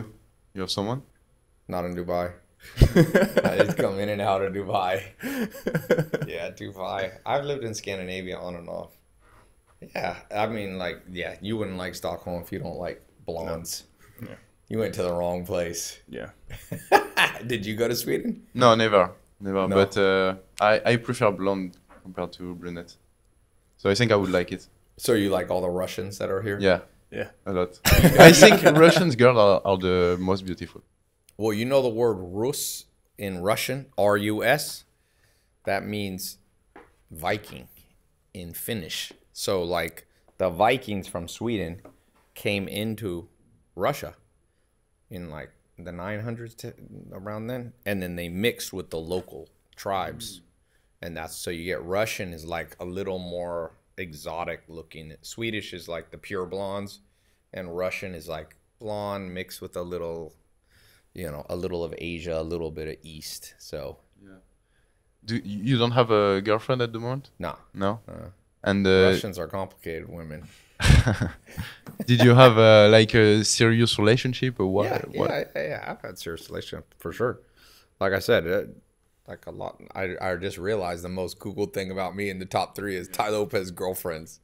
Everybody used to follow who I was dating. Nah, it's, men do better in general in a long term relationship. Like if you're not, you can get too distracted. Mm. Yeah. all the most successful guys got married at like 22. Like Elon Musk had like six kids before he was 30. Jeff Bezos. It's actually people think you should have kids when when you're more successful. I think it's the opposite. I think if you mm. want to make the most money, you should get married at like 23, settle down, have kids, and just work all the time. You Yeah, I think it's about focus. Like, like if you're like always single, Yeah. trying to like uh, get a girlfriend or get a woman, you're like it's it's a game. Yeah. And like business is a game as well. Yep. And if you're playing two games, chances are you're not gonna become as good as the guy who's only Do you playing think one you're game. distracted by dating? Ah yeah. When I'm when I'm single, yeah, for sure. You're not single now. No, now I have a girlfriend, but Is she uh, Russian? uh, Ukrainian. Okay. Yeah. My income triples if I'm in a relationship. Yeah, I've, I've computed it. yeah. The first year I started making money is the first year I had a girlfriend in my life. Same one as you have now? No. No. I, I for me it makes a big difference also. Like the focusing when Yeah. I'm in love with someone, I just work and I don't feel like I need to go out or text girls. The Yeah. worst is texting on the on the phone because it takes so long. Yes. It's crazy. You need a chat. They need to make a chat bot that's just all like AI. Yeah. Downloads your videos, knows your voice, just sit there and chat with people I- I- nonstop. I know a guy who had an agency who was texting girls and getting date over like uh, uh, Tinder, apps, whatever. uh, Yeah. Tinder and stuff. Uh, There's a for Canadian company who does that. Yeah.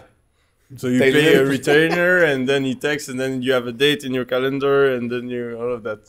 And you you may, he used to make lots of money with doing that. Yeah. Yeah. That's your new business. Yeah, it's a Turn good a idea. problem into a business. It's a good idea, honestly, and I think you can outsource pretty easily to Yeah. people working in the Philippines or something. You're like actually better to have a woman texting other women. You Oh, think yeah. So? Yeah, women know. I mean, like, But like, like novels, you know, like women buy romance novels? yeah. Those are all written by women. Mm. Like Fifty But Shades of Grey, under- they know how to like write that a woman gets like. Ooh, mm. isn't Fifty Shades of Grey a woman who wrote it? The, Adam, the- are you not up on your Fifty Shades of Grey? I would, I would say it's written by a male, but No. Well, let me check. I don't think you're right here. Maybe. Fifty Shades of Grey author.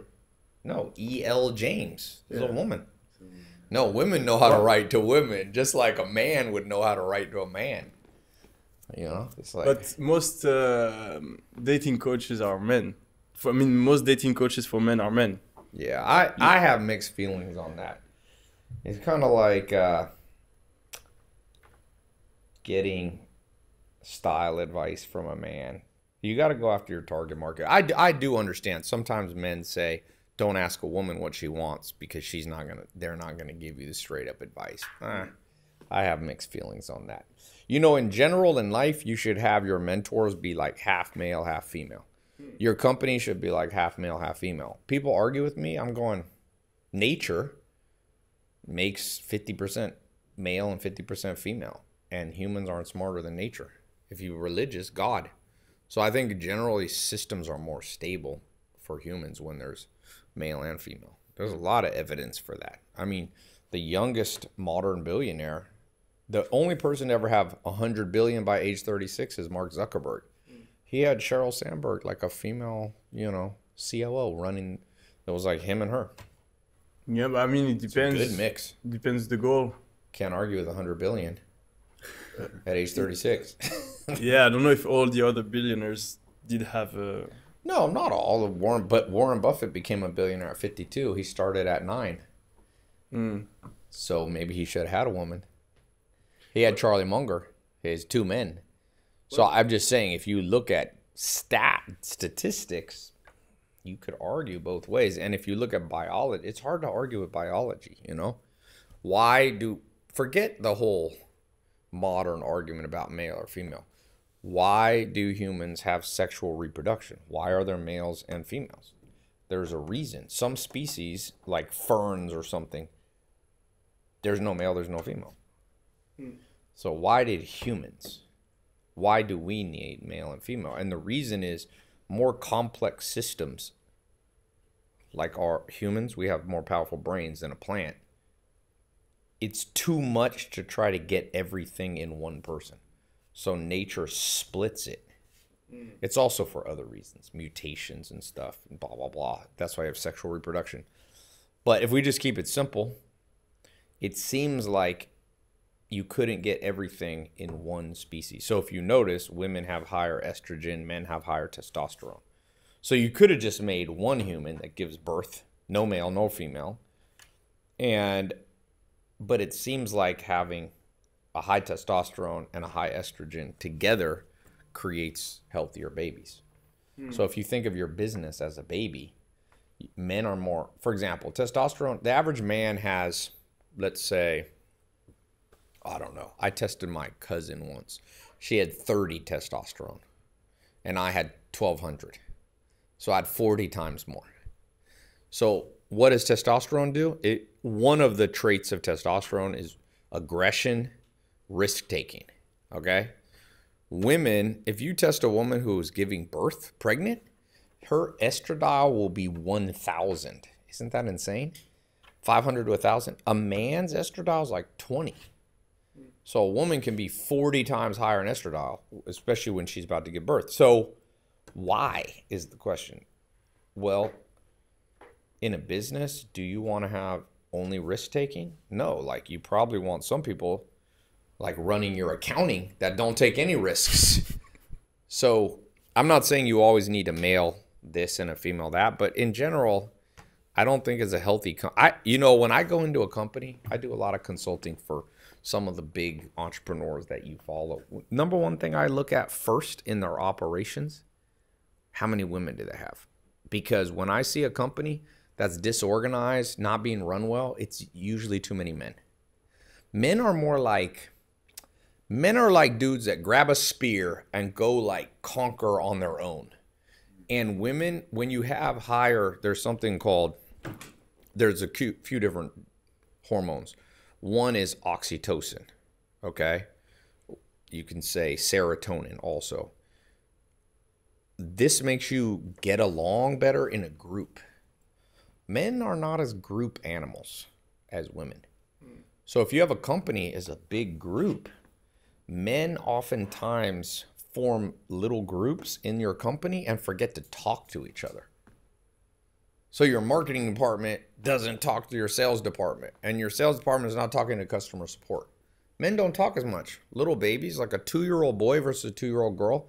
I forget a woman, a, a girl talks like ten times more. Men have smaller vocabularies. You know, you ever seen women at Starbucks? They're like four women all looking at each other in the eyes. If I go to Starbucks with you, and you sit there in a chair, and I pull up like this right next to you, and, it's a little bit weird. I would feel, uh. I would feel uncomfortable. and uncomfortable. I just stare. But watch women talk to each Yeah, other, stare it's at crazy. each other.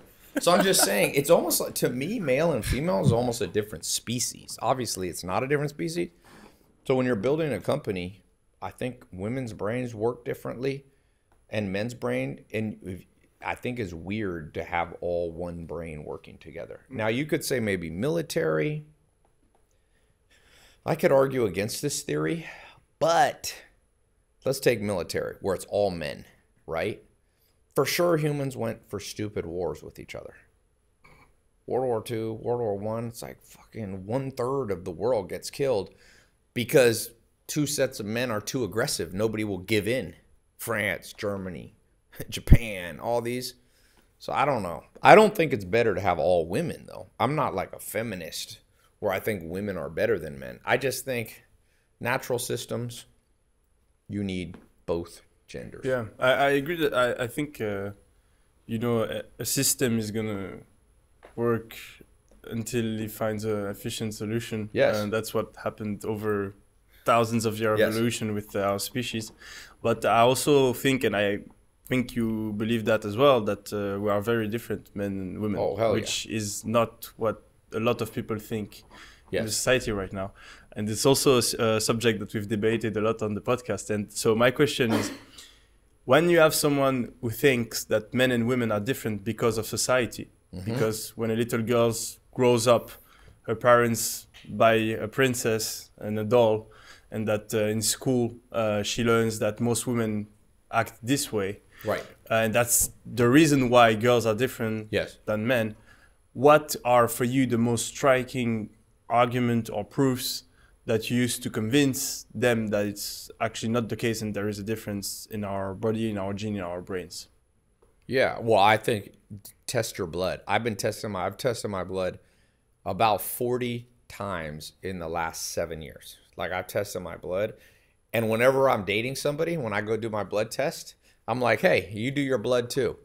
So women and men are very similar, but on a few hormones, it's crazy difference. Like I told you, my testosterone was 1200, my female cousin was 30.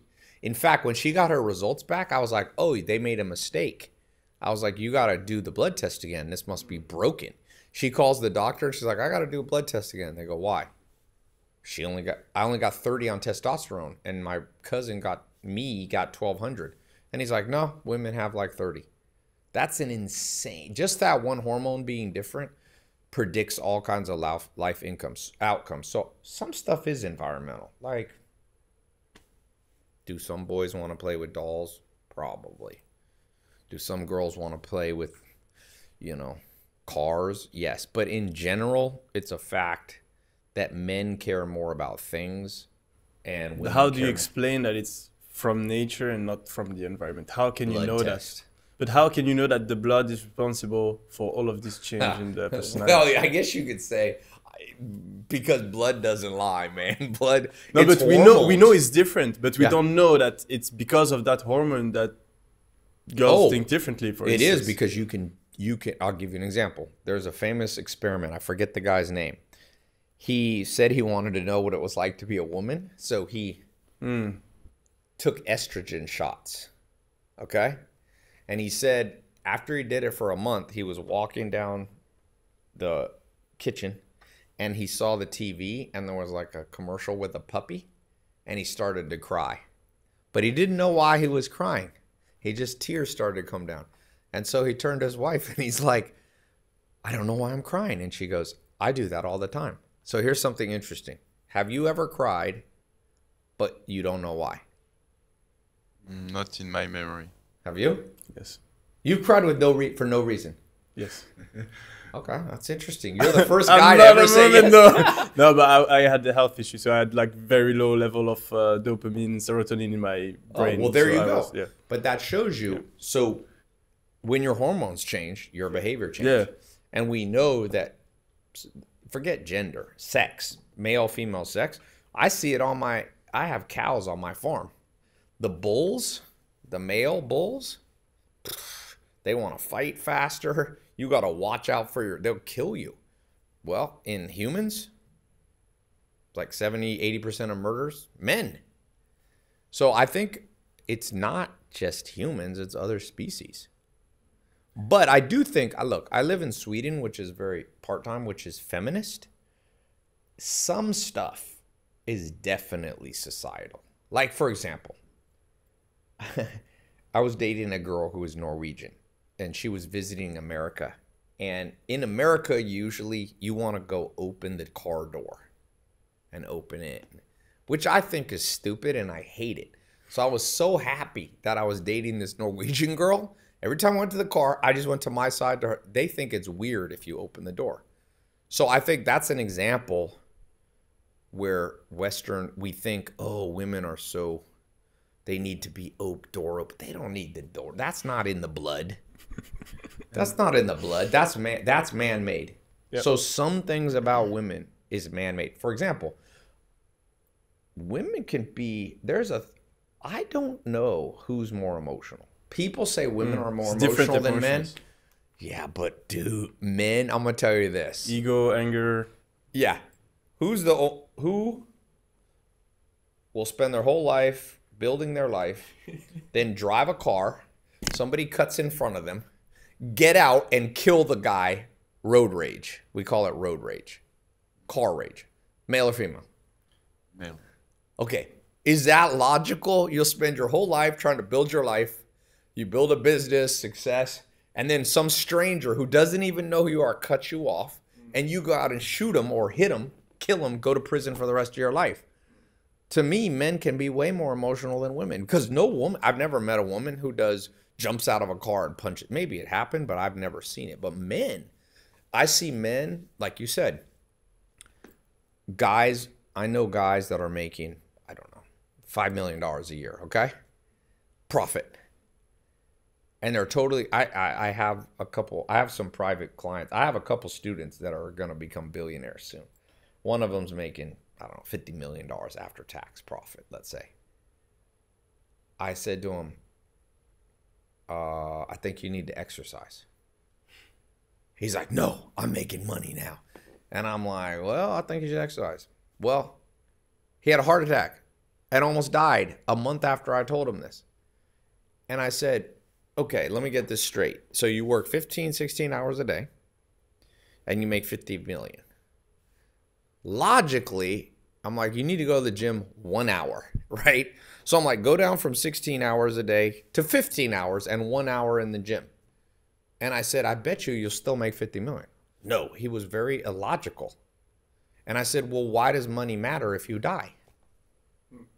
Where most women will be like, oh, I make enough, I'll stop. So that's what I'm saying. There's some examples that modern culture says women are super emotional and men aren't. It depends on the subject. How do you take care of your health personally? I know that Yomi does a lot of biohacking protocols and that it's very important for him to like take care of everything. Mm-hmm. Are you into health optimization or not really? Yeah, yeah, I think so. I do jujitsu. I lift weights. Yeah, I, do, I think you should do like, I think the simplest for entrepreneurs, I built like a program called 150 Body. It's like busy entrepreneurs. Monday, Wednesday, Friday, do weights. Tuesday, Thursday, Saturday, do competitive sport. And then try to get 150 grams of protein. It's like some basic stuff. And most important, try to get 150 minutes of deep sleep every night. If you get 150 minutes of deep sleep, that'll change your life more than anything. But you got to track. I have one of these rings. Yeah. You can get this or Whoop or one of these. How many do you use? Uh, Oura Ring? I have the Apple Watch. Let me see. What'd you get the last? I'm trying to get the data. do you have one? I, I had the Whoop, the, uh, now I don't have. What does does it still have the app? Uh, no. I, I, I the whoop app maybe. Deep sleep, 153 minutes. That's good. Let me see. Yeah. Was that It's- what yesterday? Yeah. That's. Uh, let me see the day before. Uh, one hour and six minutes. So does it show you average? Let, let me just just swipe for like three days. See what's average. So one hour eight minutes, one hour 53, and then one hour six minutes. Yeah. So you're averaging 130. oh one hour fifty three. Yeah. Okay, so that's not So ideally, you want Ah, like 150 two and a half minutes. hours. Oh, okay. Oh, yeah. Oh, but that's I'm not bad. Okay. Over a hundred minutes is important. So your sleep Okay. is pretty good, but not amazing. Okay. How many steps do you walk? Not that much, but I train and I run. But how many steps when you run? I run for five minutes every day. Five? Yeah, only five to wake up. Oh, that's not enough. But then I, I, I go to the gym and I Fourteen train. steps, man. Fifteen thousand. You think it make a big difference? Hell yeah. For your deep sleep. That's not enough. I, I, I thought it said 153 minutes. One Okay. hour and 53 is only roughly like 110 minutes. Yeah, yeah. Yeah. So yeah, you're not you're probably not moving enough. Do you have a treadmill desk? Yes. Uh, only, I mean, it can go up, but I don't have the. I can't. Then that's no standing desk. Yeah, is I have stupid. standing desk. Yeah. Nah. That's the biggest scam in biohacking. The body does you know if people go to a wedding and they stand, they faint. Yeah. Don't stand. Standing's work walk. Yeah, I was in the military, so uh, I'm used to standing for It's a not long good, time. man. It's not You- good. I'm gonna get you. I'm gonna get you a tre- get him a treadmill desk for his birthday. It costs a thousand dollars, Yeah. Yeah, I'll try. and then set it low, like on one. Do you are you on your laptop a lot? Yep. Yeah, just set it to like three kilometers, Yeah. and you walk. Yeah, so three. You need to walk. Yeah, steps is good. Fifteen thousand steps. I'll try that. Yeah, you because you should be getting deeper. How old are you? 27. Yeah, you should be getting deeper sleep than that. Too much time on a. Do you have? uh What time do you turn the laptop off? Nine. Nine. But when do you fall asleep? Midnight. Do you put blue blocker glasses on? No, but I have the, you know, the orange. Yeah, but filter you get it all these lights. You need Yeah. those blue blockers, man, for like three hours before you sleep. You have blue blockers? Yeah. Yeah. I will get you some. Yeah. I own one percent of a company. Go to Swanee. Swanwick glasses. Uh. Those Oh. are those are the only ones that have a Harvard study that they're actually scientifically proven. Yeah, the, the guy you. who made this one was in my your video a long yeah. time ago. James Swanwick. Yeah, I remember this guy. But I, but I would, but I, it's not. That's not why I'm endorsing them. Like I Yeah. only own one percent. I'm not gonna make money if you buy a pair of glasses. but um, no, hell no. That having a pair of glasses, but steps is more important, man. Okay. Yeah. Well, how much steps did you get yesterday I don't know. I, I don't track it. But uh, on maybe Apple? I c- Go to the health app. It's Oh, built in. Okay. Is it like calories that you spend that make a difference in your sleep, or is it like being it's just outside? I think you're. It's hard to. Humans, men used to walk. If you, there's a good book called "The Story of the Human Body." Humans, by a Harvard paleoanthropologist. Humans used to walk. Or men would walk around fourteen to fifteen thousand steps every day, hunting for food. Women a little bit less, like twelve or thirteen thousand. So you try to align like your habits with what we used to do in the Ancient, exactly. in the past. So Okay. Yes. goal is fifteen thousand steps. What did you? What have you had? Like eight? Um, three thousand. Oh yeah. Yeah, yeah. Three thousand per day on average. You'll optimize. I bet you that one thing will change your life more than anything. Okay. So what you have to do is you have to set up your like like I was supposed to have. So Iman Gadzhi, I was supposed to have lunch with him. I because of this I didn't quite do it, but normally I would have walked to that hotel. And I would have walked back. But and I just do my business call. Do you do a lot of calls for business? no. Yeah, you need to do more phone calls. How many people work for you? Uh, with all the businesses between 50 and 60. Yeah. So you need to be on. The, I think phone is an underrated business tool. Like literally, I can do business. I'm closing deals. Now, when I close a big business deal, I go in person, but all the operations to get up to there are on the phone. You don't have you have a global company, people all over, Yeah. or are they I just mean, in Dubai? No, no, Dubai, uh, Europe, Africa. You go to the gym. Yep. How far is your gym from your house? In my uh, tower. No, never do that. Never. so like yesterday, I was supposed to go to that. What was the name of the gym? Benus. Yeah. You know that one? Yeah, we train there sometimes. So I was gonna walk there from here. The guys thought I was crazy. I'm like, it's only. But in Dubai, it's not nice to walk. Well, no, you're not allowed to walk. Yeah. Dubai's insane. Yeah. You can't walk off this island. They don't let you go through that tunnel. But it's like it's like an hour and a half walk I would have Uber uh, two hour walk. It was a two hour walk.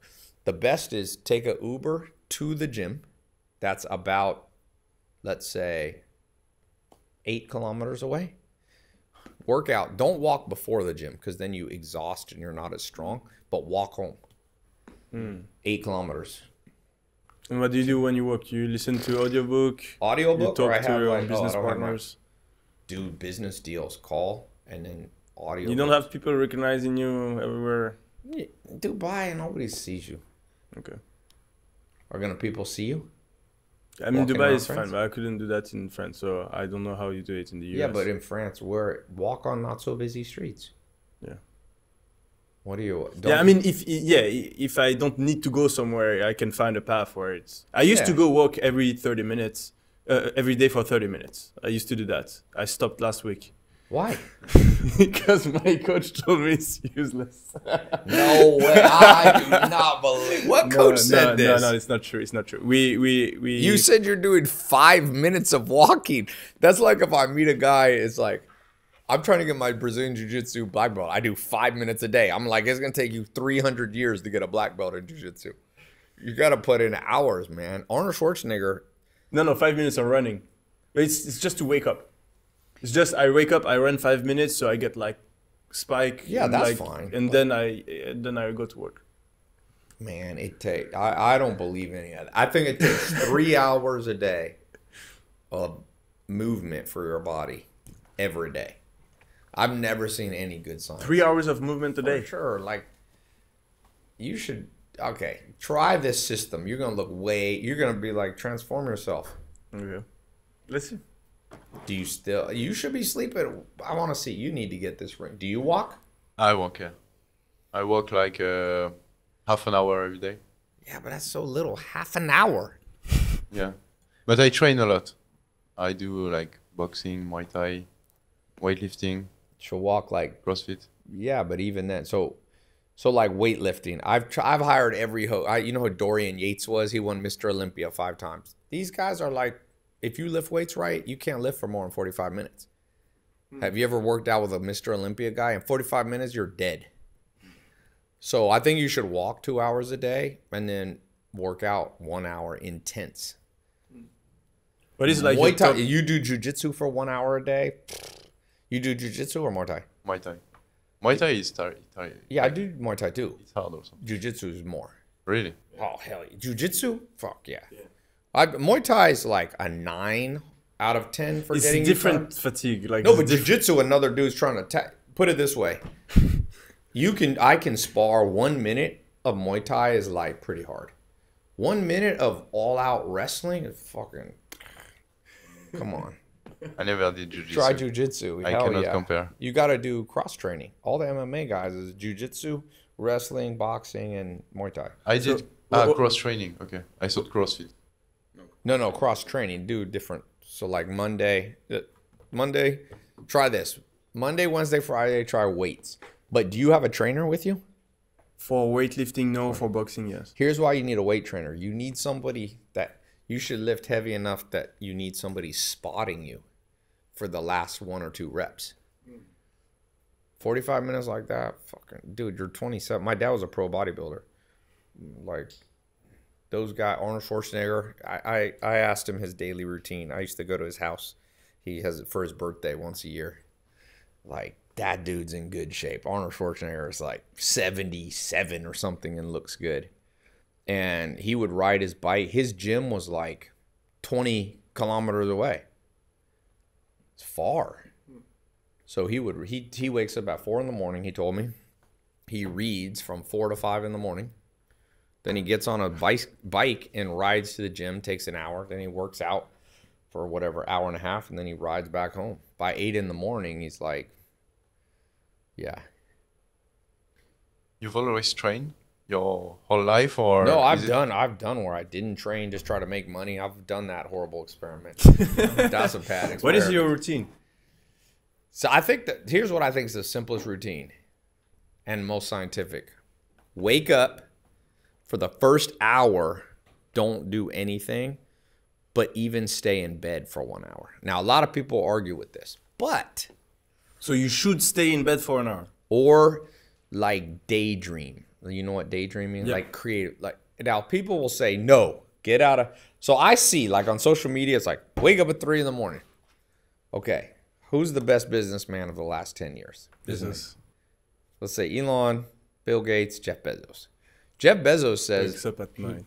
he's like i wake up at nine i spend an hour in bed thinking about different ideas so i think you need a creative hour so that's one hour so let's say you wake up at eight eight to nine then i think you should go right into three hours of work you're an entrepreneur i'm an entrepreneur three hours there's a book called deep work by cal newport you go three hours crazy focused work. So if you wake up at 8, 8 to 9 is more relaxed. 9 to 12 insane. Then you if you do intermittent fasting, like I'll do intermittent fasting, then I'll eat 4 hours after I wake up. Then take like a 15 minute nap and go to the gym. Go to the gym 5 hours from after you that's when you're the strongest. About 5 hours after you wake up. So I mm-hmm. wake up at 8 So you train 30 minutes after you ate. No, like you eat at 12. It doesn't have to be 30 minutes, but I don't need a huge first meal. Okay. Eat your bigger meal after the gym. So I have like eggs or something. But then I take a nap. There's an old German saying, I'm half German. Germans used to say, after you eat, either take a nap or walk a thousand steps. Mm. So then I take like, I, I do a Headspace meditation app. Have you ever used that? But I use it to help me fall asleep. Now they tell you you shouldn't do that, but fuck that. Nap is the most. I'm like, why? It works. So I do the Headspace app for 15 minutes. I fall asleep for five minutes. That five minutes gives you like a one hour. Then right when I wake up, so at one o'clock, I'll take pre workout on my way to the gym. So let's say I'm at the gym at one or 1:30, work out for an hour and a half, then walk home two hours and do my phone calls. So you should do three hours hardcore on your laptop, and that's it. The rest, phone. Don't you think that? Uh, What are you doing so much on the laptop? Slack? No, no. I I can um, um, solve problems. Let's say solve the most impro- important important problem for my businesses or my life. But what are the problems usually? It really depends. I sometimes I optimize a part of my business, or I try to find new businesses to launch, or I You can't do that when you're walking. Um, no, I like to type and structure my thinking on like Huh. mind map or a list or something. But I think that routines are really. You have an interesting personality type. I need to figure out. You're trying to figure me out. By the end of the podcast, let's let's see what you think. Are you And, emotional? Um, I think I feel emotions strongly, but I try not to act them out if they don't serve my interest. Yeah, but that's a different thing. You're like, well, what are you Yeah, by sa- uh, nature? You're I- emotional. yeah, I feel strong emotions. are you I, emotional? Not much. Who's more emotional between you two? I, I am. I think. Let me see. Hold your hand up. Go like this. Are you put your fingers together? Let me see yours. Are you right or left hand? Right. Right. Are your parents emotional? I'm Um, looking yes. at your. This is estrogen finger, uh, testosterone, estrogen. Yes, my. You, you have yes, pretty high testosterone, both of you. That's that's when you're born, digit index ratio. But you said you had hormone imbalance. The- yeah, but that that's over. It's just a health issue. Now it's fixed. And it was just temporary. Yeah, got an operation and took two years to stabilize, but now it's pretty. Are your much stable. parents emotional? Uh, my mom, I think, yeah. But my dad, dad? my dad, not at all. He's very cold. Yeah. So he has more psychopath gene. Your Yeah. mom has more. He Exactly. said anxious. yeah right away. Is he more that way? yeah. Yeah, men. Much more men have the psychopath gene than women. Yeah. People call women psychos. Women are not usually psychos.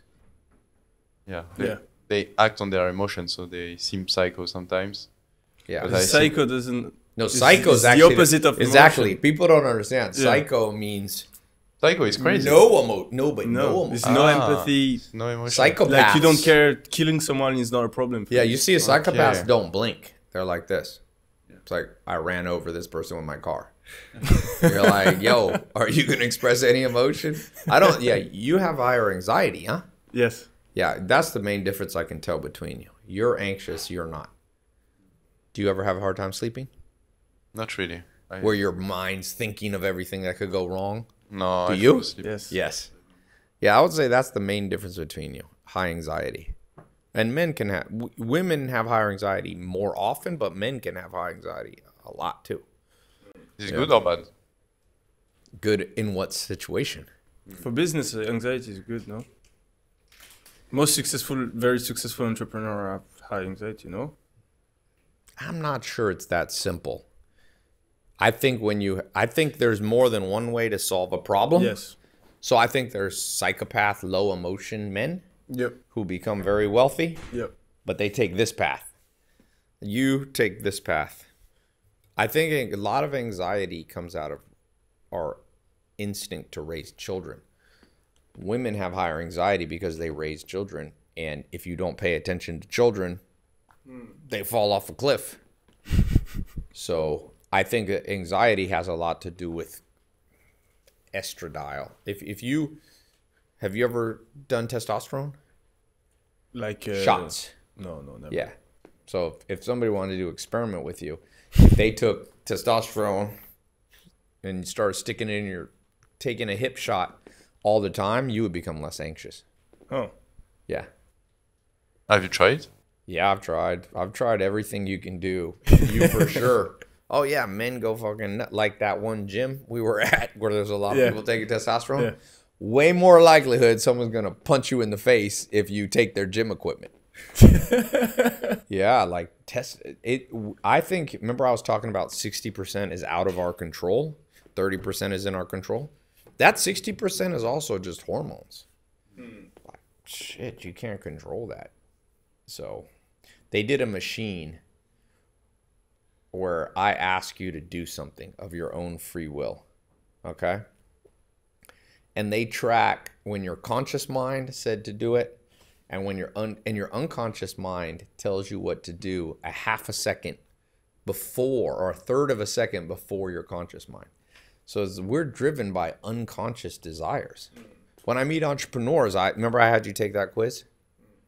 Like, let me see the quiz again. The results. Um, where is it? You showed me a screenshot. Uh, I didn't take a screenshot. Oh, yes, there you go. So let me see. So you got. Can I show this on the thing? Yeah, sure. So you got material things, 56, mating 64, freedom 66, mastery 72. This is on my 12types.com. It's free. I'm going to pitch my quiz there. go ahead. 12types.com. It's gonna be in the description. Yeah. Um so your much more your number one drive is to be respected by people. So my question is, why I test some people and that's a 20. Hmm. So that's what I said. This is genes. It's like it's not logical. So you're gonna interpret everything you do. Yeah, you're not as materialistic, huh? Your dream is not to have. What what? How much money would you like to make? Would you like to be the richest person in the world? Probably not, but a billion, yes. Yeah, few because status. Yes. Because in my like the most important competition for me is Yes. business competition. So Yes. it means I succeeded in that competition. But But I don't just- care about what I buy with the billion dollars. That's right. Yeah. Yeah. For example, if I said, if I said, you'd be on the Forbes list. Let me give you a real question. Which one would you like? Okay. You're on the Forbes list, mm-hmm. and you're worth a hundred billion dollars. So not only you're like one of the most respect. You go to conferences, people are like, "Wow, tell me that," but you only have one million dollars liquid. That's it. One Ever? Ever? no during that year. Let's say it's ten years of your life. Okay. You're a hundred billion on the Forbes list. Yeah. But it's tied up in real estate. You can't No, sell that's it. not problem. and you have one million dollars in your bank account, Okay. and you have enough to do whatever you want, travel and all. Yeah. Or, and I want to see what your answer is. You have a hundred million in the bank account, but your net worth online is one hundred thousand dollars, and you can't tell anybody. Nobody can know. Honestly, I don't really care about uh, the public thing. It's more about how I view myself. Yeah, but which one would you take? Because No status. A hundred grand is gonna but I, no I view myself if I know that the the the, the hundred billion dollar is not fake, I'm gonna have No, it. it's not fake. Yeah, it's, it's not true. I really reached this Yeah. goal. I prefer this. Yeah. Yes. How about But you? it's not about oh people are gonna be like oh he's you're 100 billion. It's more the view I have of myself. Fine. Okay. For me, But that's your conscious mind.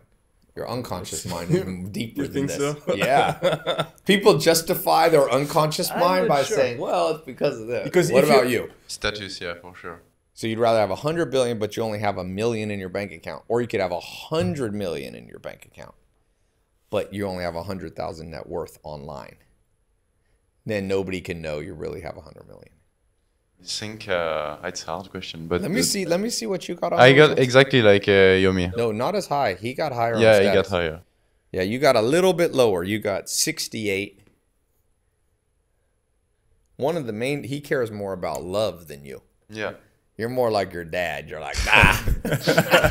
love is useless. you think so? No, You got the same. You're not super material. no, I'm not material. And he's a little bit more ambitious in general than you. Who? He's? You. Ah, okay. Who do you think's more ambitious? A little bit more. Yeah, I think I think I am, but A little I, I think driven. I am also. I think I am. That, that's That why is a we're both competition. driven by You're status. pretty close though. But I always think it's d- interesting. You both you surround yourself with people with very similar. This is the unconscious mind. So I think that's that's very normal. What about you? I score. I don't score. I'm pretty similar. Really? But you score higher on freedom, maybe no. Yeah, higher on freedom, mm. less about status. But it probably makes sense. Ten years ago, when you saw my video, your unconscious mind. They call it assortative matching. We're attracted to people similar. Yeah, it's, it's Yeah. really it's very. So true. when you saw my video, you're like, I like how this guy thinks That's- because it's you. You saw yourself. Exactly, yeah. Narcissism of humans. that's There's something true. about this Tai guy that I like. That's- yeah, it's you in another video. it's funny because like you know i've always you know when you're young you see people like telling you you can make money doing that buy Yes. my course trade my things and always i was like yeah this is a scam when i saw your stuff Yeah. i was like yeah usually these things are are a scam but this guy is very smart he's right on a lot of things maybe he's right on that as well and that's why i kept on watching Yes. your content is because i you made me realize a lot of things and now i it's funny because a lot of things that you've said today i've said in past podcasts so i think we have a similar views Yes. on a lot of things and we kind Yes. of think the same way about a lot of subject and if that wasn't the case I I would not have bought your course Yeah. so, so happy that uh, like when I go to different self-help people's, you go to like Tony Robbins. yeah He's more emotional. yeah He's very into like getting into. I went to one of his. I love Tony Robbins too. His one of his books changed my life. But I went to one of his conferences, and he attracts a lot of people like him.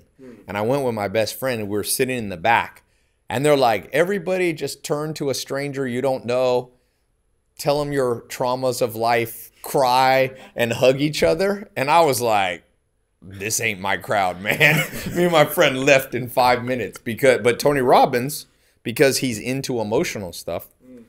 That's called a self selected group, SSG. So this table right here is kind of an SSG. We kind of think alike because if I thought completely different than you, you wouldn't invite me on this show. You'd be like, fuck this guy. He's an idiot. But but one thing I will tell you, make sure you read people that are the opposite opinions. So for example, even though I'm a capitalist, I still read Karl Marx. The not all the time but i like to read the other side like maybe business isn't so good. Maybe the world's worse off. There's some people that believe the world's worse off because you and us three make a lot more money than other people. They think the world would be better if everybody made the same and even though i don't believe that once in a while read that book it balances out your brain You know, that's why I said, like on health stuff, a lot of people start reading the same health book. And it's like, if a guy's on testosterone and weight, he's just reading weightlifting. If a person gets into Muay Thai, they just like, shh, go. But I think it's better to do, like, jujitsu does a little bit different thing for your body. Muay Thai does a little body. So I like, I think the healthiest life is to get different opinions. Yeah. Usually we like to be right, so we Yes, go toward what's giving exactly. us right. But yeah, it's good to change our beliefs also. And that's what I was saying. In science, look at evolution, how smart it is. Your mom, more emotional, was attracted to her opposite. That's very common. An emotional woman will be attracted to a more, let's say, not psychopathic. I'm not saying, but your dad's not a criminal psychopath. He just has lower Yeah. emotion. Does your who cries more, your mom or dad? Oh yeah. Who gets sure. more excited, your mom or dad? You know, dad's like, "Psh." but because of that, you create healthier kids. And humans, over the last 10,000 generations, humans are evolving sometimes worse, but on some things, we're much stronger. So I think you have to do that in your own private life. You have to be like evolution. You say, okay, I'm a businessman. What's the opposite of business? I don't know a farm. That's why I have a farm. Like I get too materialistic. I'm like focused on, bu- and then I'm like, ah, let me go to the farm and have cows. It's a good thing. It'd be good for you too if you have high anxiety. Do you Yeah, own any- nature. Yeah, it works. Do you own any nature stuff? Piece of land? Nope. You should. No real estate. Uh, Where would you rather do it? Switzerland or where? Sorry. Switzerland? Where would? Where are you going to settle down after Here. Dubai? Oh, you're going to settle here. For next five years at least. Yeah. What about 30 years from now? No clue. I think the world changed so fast. I don't know what countries are gonna look like in 30 So if the years. world's the same, where would you live when 30 years from now? Whoa, great question. And you, Um. France? Probably Yeah. here. Really? Yep. So you like Dubai that much? Yeah. Yeah, what was interesting was I was bringing up the license plate thing, and I was like, "You're kind of like defending it," and then I No, look I at would your never. score- I would never. No, buy no, it. but you said I understand because it has value. It has. it's that's an investment. I think. It's Yeah, it's an worst investment. Yeah, Yeah, investment. not the It's worst interesting how you. Same with watches. Yeah, but see, to me, eh, I don't know, but that's just like a judgment call on what is stat. Like to me, status is more intelligence. I grew up with like mm. different values, so my grandma, German grandma, she money. She never was impressed that I made money ever. Doesn't care at all. But she liked that I read books mm. and interviewed smart professors. My grandma's like that. So it's funny how even when your motivations they get interpreted. So for example, if you like status, some people will interpret that as but me like license plate is actually stupidity. So you're so if I meet a dude and I find out he spent a million dollars, do you guys have this? Am I insulting you without No, no, no, no. If I find a dude that spent a million bucks to get the license plate A, Yeah. I want to be like, are you fucking retarded? Like there's something wrong with But you. what if he thinks it's a good investment? Okay, first know off, let, that- okay, but let's be scientific. Yeah. Is there anybody smart that ever would say the best investment they ever? Let's go to the top of the Forbes list. The top 20 people in the world. What do you think they would say about a license plate? It's not the worst. You think? I think it's, it's yeah. Dubai buying a, a numbers plate in Dubai. When you see what type of people are coming here, they care about status, right? You see that real estate. A problem with Dubai's real estate is that there is they they they uh, make a lot uh, of it. So there's a lot of new construction. So you don't have the squeeze of the offer Yes. uh, similar to like New York City or Paris. So when you invest in real estate, you take the risk that okay, there's going to be a better building Yes. tomorrow. No, plates number you don't. So if you want, if you think that Dubai is going to keep on growing, you know that people that come in Dubai care about materialistic thing- things. Yeah. Buying a numbers plate is actually quite a good investment, I think. And also, it's Yeah, but what does it, who does he bring to you? Let's just go. So No, who, you ju- so you can sell it later. It's just oh, an you're investment, saying an not investment even put vehicle. it on your car. Yeah, I don't. Yeah, Yeah, but there's no way that'll be the best investment of a million dollars. What- I got a text yesterday from my friend. I, I he's one of the co-founders of Ethereum. Okay, yeah. A million dollars into Ethereum in 2015 will be No, worth now, a now. million now. A license plate ain't ever going up that much. I don't know. It, it, if you look at the past two years, I think some some license plate they made like 50x. I know a lot of guys that are using it to do business deals with other Yeah, but- businesses in Dubai. But whoever respects that, I don't even want to do business with. My brain works the opposite. If I meet somebody and they're like, you know, I wasn't going to do a business deal, but I noticed your car number was A. so I'd be like, this guy's not very intelligent. I can just trick him. like, I'd rather somebody do. I, see, that's what I'm thinking. I don't think the smartest people can be tricked that way. Like Warren Buffett, best investor of all time. He he nobody's enriched in Dubai like Warren Buffett. Warren Buffett's sitting on 200 billion cash. So I don't know. That's why I said you uh, don't spend too much time in Dubai. You need to be in Dubai summertime and you need to get your brain cuz you're going to get in that Dubai bubble of like craziness. Yeah. I don't know if 50 is there been a 50x on a license plate? Yeah, probably. But what's the intrinsic value? It can go down to zero. Like with most cryptos. Yeah, well, that's true. That's that is true. But I'm just saying, 50x. So somebody put a million into a license plate and it's worth 50 million. No, more like probably put a few Put one dollar and it's worth a $50. and now it's worth a few million or a few hundred. Yeah, the, I think the how much did it sell? The last one, nine million or something like that. The highest one sold was like nine million dollars a few months ago. So the guy who sold it probably bought it. I don't know, a few tens Uh, of thousands. Let of me dollars. tell you one thing that I've learned about the world. There's a lot of money laundering in this world. Hmm. So people will this piece of art right there where somebody scribbles sells for a hundred million. Mm-hmm. Why do you think it sells for a hundred million? Hmm. Because somebody had a hundred million in some country and they needed to get rid of that money.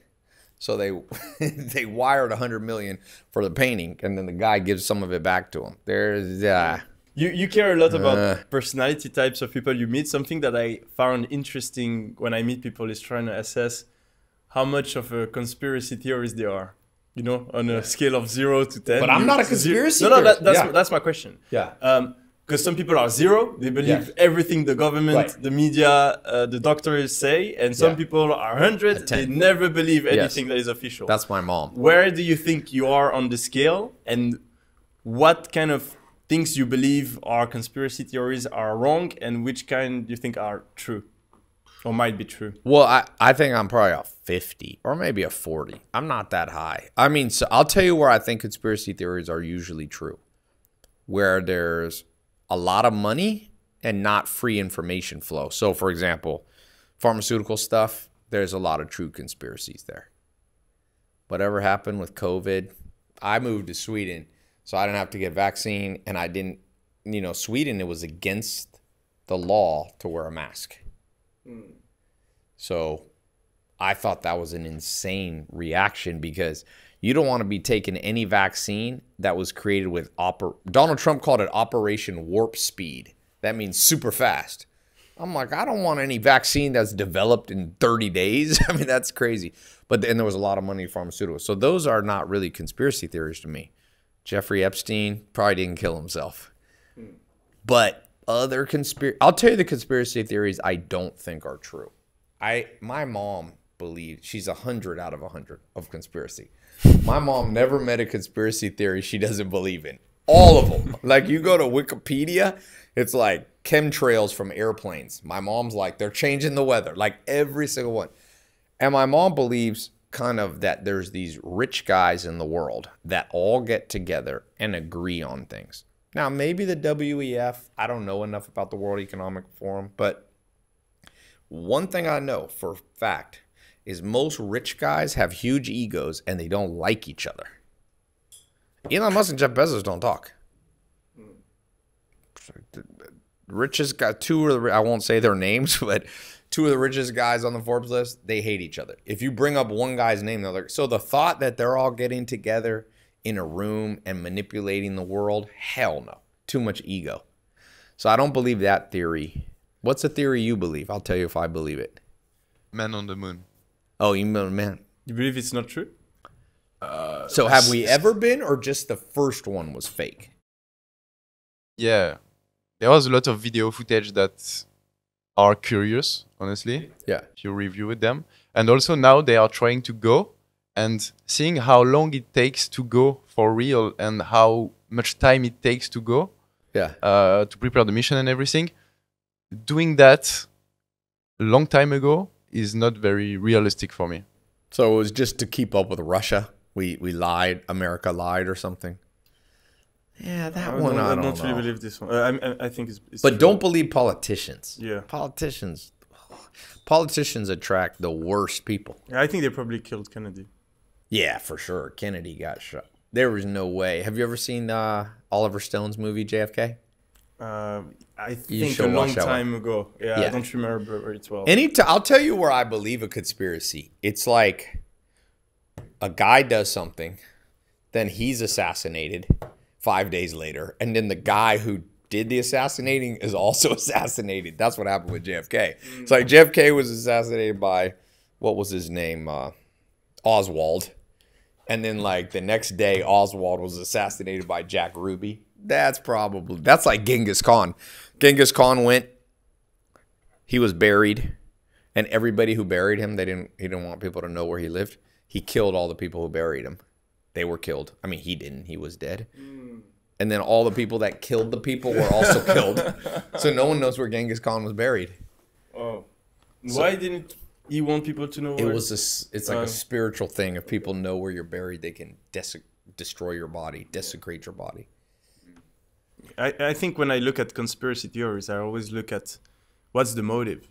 yeah. And if there is a good motive, yeah. if people can make a lot of money Lot of with money. or yeah get a, something, then it might be yes possible. Another thing I look at is do the people that do it have an interest of the event you think is Right. a conspiracy being known? yeah, yeah. most of the time when you're doing something shady, you don't want people to to have a look at it. yes And the problem with people that believe a lot in conspiracy theories is they always build one against something that took a lot of attention. yes The moon, Yes. World Trade Center, Yes. assassination. So they always take a big event that is like everywhere and they think people organized it yes for a weird reason. But if I'm doing something shady, I, I I'm never going to take a strategy that is like, yes take a lot of people knowing it because then you have at the risk of getting caught. Yes. That's like George Bush blowing up 9 11, the towers. He would have had to tell 150 people. Hmm. It's called the cartel effect. One person would have defected and wrote a book about it, Yeah. or they would have recorded him under the table. Like, oh, what do you want me to do, George Bush? and he's like, oh, I want you to blow up the thing. And then they would take that tape recording and sell Yeah. it for $10 million. Yeah. So you got to look at the profit motive that the defectors could have had. So like NASA, the only problem, a lot of people work for NASA. You would have had to have a thousand scientists all lie. It's hard to get a thousand people to lie for you. But the thing is also, when I was younger, I was I, I was You used very to like low on that conspiracy? No, no, uh, Oh. opposite. I used to really not believe in them, and uh, the older I get, the more I believe Yes. in them. Because I also think that, you know, confirmation bias is very strong. Yeah. So if you don't believe in a conspiracy theory, even if someone that works at NASA Yeah. says, "Oh yeah, that uh, yeah, I I tricked it. I was part Yeah. of it," you're gonna you're gonna say, "Yeah, Oh, he's just conspiracy to get theorist. views," Yeah, you know. So it's it's kind of hard to figure out the truth sometimes, you know. For sure. Serious, I'd like to go through a list. I once tried to go through and be like, which ones don't you believe in? I guess all of them. She has a couple. She yeah, like the chemtrail one. Have you seen that one where they're changing the weather by airplanes? They Yeah. leaving streaks in the air. Yeah. My question is, who's doing that, and how do they make any money? Yeah, that seems hard to make money. So the motive's not as strong. It also takes a crazy amount of money to change the weather. My mom thinks my mom blames a lot of stuff on Bill Gates. So she can't figure out the motive. She's like, it's Bill Gates. Who knows, man? Bill Gates has not done good image control. Like people hate Bill Gates. Yeah. Do you believe in uh, aliens? Aliens. I just did a whole podcast on this big aliens thing. Um, which version of it? Not the ones you see in movies. I, I think that um, humans were probably the aliens. I don't know. I, I think it's possible. I, I more likely believe in multi universes. And in our universe, it seems like there's no aliens right now. But Stephen Hawking, in one of his books, he talks about like matter and antimatter, it's called. So, one of the things people say about aliens is there has to be aliens because there's so much space. Hmm. But he says the creation, the Big Bang of the universe, cre- there had to be space to offset all the matter, the concentrated energy and matter that there is. So there's a possibility that the, all that empty space is literally nothing. It's hmm. just it shows how, like E equals mc squared. That's like energy equals mass. So It's very improbable that we are the only living thing in the universe. yeah, but though, maybe, maybe, but there could be. I think it's more probable that life is a stim- simulation. Yeah, It's more so. probable that there's Yeah. a video game, so that the aliens maybe it's us a thousand years from now. Think of how more advanced AI. AI by 2026 in two years, they say it'll be 800 times more powerful. So now that's in two years. How strong will AI be in 40 years? It might be 1 billion percent. If you keep compounding, it could be more.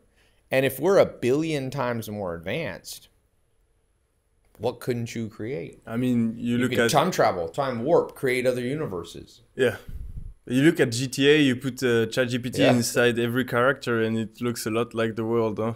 Yeah. And then it's so good that we think it's real. And then the question is, am I maybe this universe I'm in, I'm the only real one and you're Yeah, not real. But you would have that same Yeah. interpretation of me. yeah, So I think a lot of those multiverse theories are very powerful because like once quantum physics came in, it also ma- it makes it explains why religion can feel true. Like praying, people who pray sometimes get results, and people who have power of positive thinking get. I've had it in my life where you manifest something. So it could be there's a lot of parallel universes, and you just quickly, without knowing it, you move into another universe where you're more successful. Mm-hmm. Or if you think about horrible things, you step into one where everything's you create your own hell. So even scientifically, some of these things, it's the problem is it's too we weren't given brains strong enough to understand time travel, Yeah. warping, multi-universe. So there's only a few people that, like I said, the thought that there's one to the 500 power, ten to the five hundred. I mean, 10 to, Yeah. to the 500. Yeah, How big is that number? yeah. If you'd lose uh, everything, everything that you've built from the beginning of your career, and you had to start from zero again, what would you do to rebuild it back up? You only have your knowledge. No So personal was- brand, yeah. no money, no contacts. If you're broke, broke, broke, if you're homeless, learn phone sales or in person sales. That's the quickest way to get to six figures. Then, once you have a little momentum, $10,000 in the bank, then I like service based businesses. And then I like, I like, I, I kind of say, if you completely have nothing, sales, then you kind of move up to product or sales, Service, service, product, product. and then Brands. the final. Yeah, br- I mean, you can introduce brand, but holding company is the final frontier. But I think it's one of those ones where if you're here, you could launch products. I've seen people that are completely broke launch products. Services is 60% of the economy, so there's so much opportunity. Right? Products are not 60% of the economy. And the US economy is like 60 plus percent services. So services is like guaranteed money, but services reach a limit. Hard to scale. Yeah, you can scale. I mean, look, SMMA, social media marketing agency. Not many people scale past a million bucks a year, but there's a lot of people who do three hundred thousand to a million. But then if you get into product, you can go product into the billions. You know, ecom like you do and stuff like that. But um, but even there, you get a limitation if you have to start the companies yourself. So if you look, I like to, like I said, for education, I think you can use the Forbes list as the best business teacher. If you just stare at it, what do the top 50 people have in common? Technology. 80% of the current 10 wealthiest people in the world did it with software. So it's like the number one thing that has a chance of creating crazy wealth is software. In fact, it's almost impossible now not to do it with software. So you have to learn software. Uh, it's good you're in software. Um, the bottom of the Forbes list is a lot of real estate, but no one on the top is from real estate. That's another thing. So real estate actually Plateaus. plateaus too. Because real estate, you have to acquire one property at a time. Where with technology, if you build Facebook, a billion people can sign up in one day. You don't have to do a billion transactions. So real estate is pretty big. It's created the most millionaires, but it doesn't create decabillionaires. You know, there's a lot of people with 100 million to a billion net worth from real estate, but not that many that go past that. But with tech, it's like there's 30. How many people are there? Seven people under 30 that are self made billionaires. You know? Under 30. I think there's only seven self made. Maybe that, something around that. So there's like, you know, the founder of Snapchat was one. You know? So a lot of them are from software. There's a couple, I think the majority. You also have um, crypto made some of them but that's crypto software people don't realize crypto is software that's why i tell people crypto's good but if there's ever a nuclear strike and the power grid goes out crypto ain't worth nothing you want to have some gold gold or real estate or a cow or something people for it's funny how many people forget crypto software Yeah. Um, what about uh, your opinion on uh, Andrew Tate? Uh, Andrew Tate. Yeah, he created a lot of debates Yeah. in society, a lot of contrast.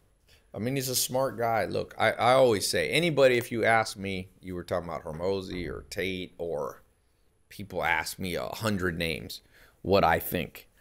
To get to the top, it's hard. So if you're at the top of something, you're good at the 30% that I was talking about. But there's still the 60% that throws. So I think that um I think you should listen to some people that have new money but not everybody. Because sometimes the one problem in the modern world is now social media, and this has nothing to do with Andrew Tate, but just anybody who's persuasive can get a lot of people listening to him and knows how to hack the algorithm. Some of that's good. It's harder for the mass media to control stories like they used to. Mass media was a problem for the last 500 years. You know, they told a lot of lies, didn't tell the. So now you have that offset with social media. Anybody can tell a story. Andrew Tate, you know, was a master of virality. The downside of it is, um, sometimes good ideas aren't viral. You know, that's a problem. That's not an Andrew Tate problem. That's not a. So I've had to walk that line too because I've been in that same place where it's like, do I say what's viral or do I say what's boring And true. and true? Exactly. Or That- more likely to be true. But Andrew, I'll tell you one thing about Andrew Tate. He's a super he's he's a great speaker. Yeah. In general now, people that do the best. I actually think that's not new.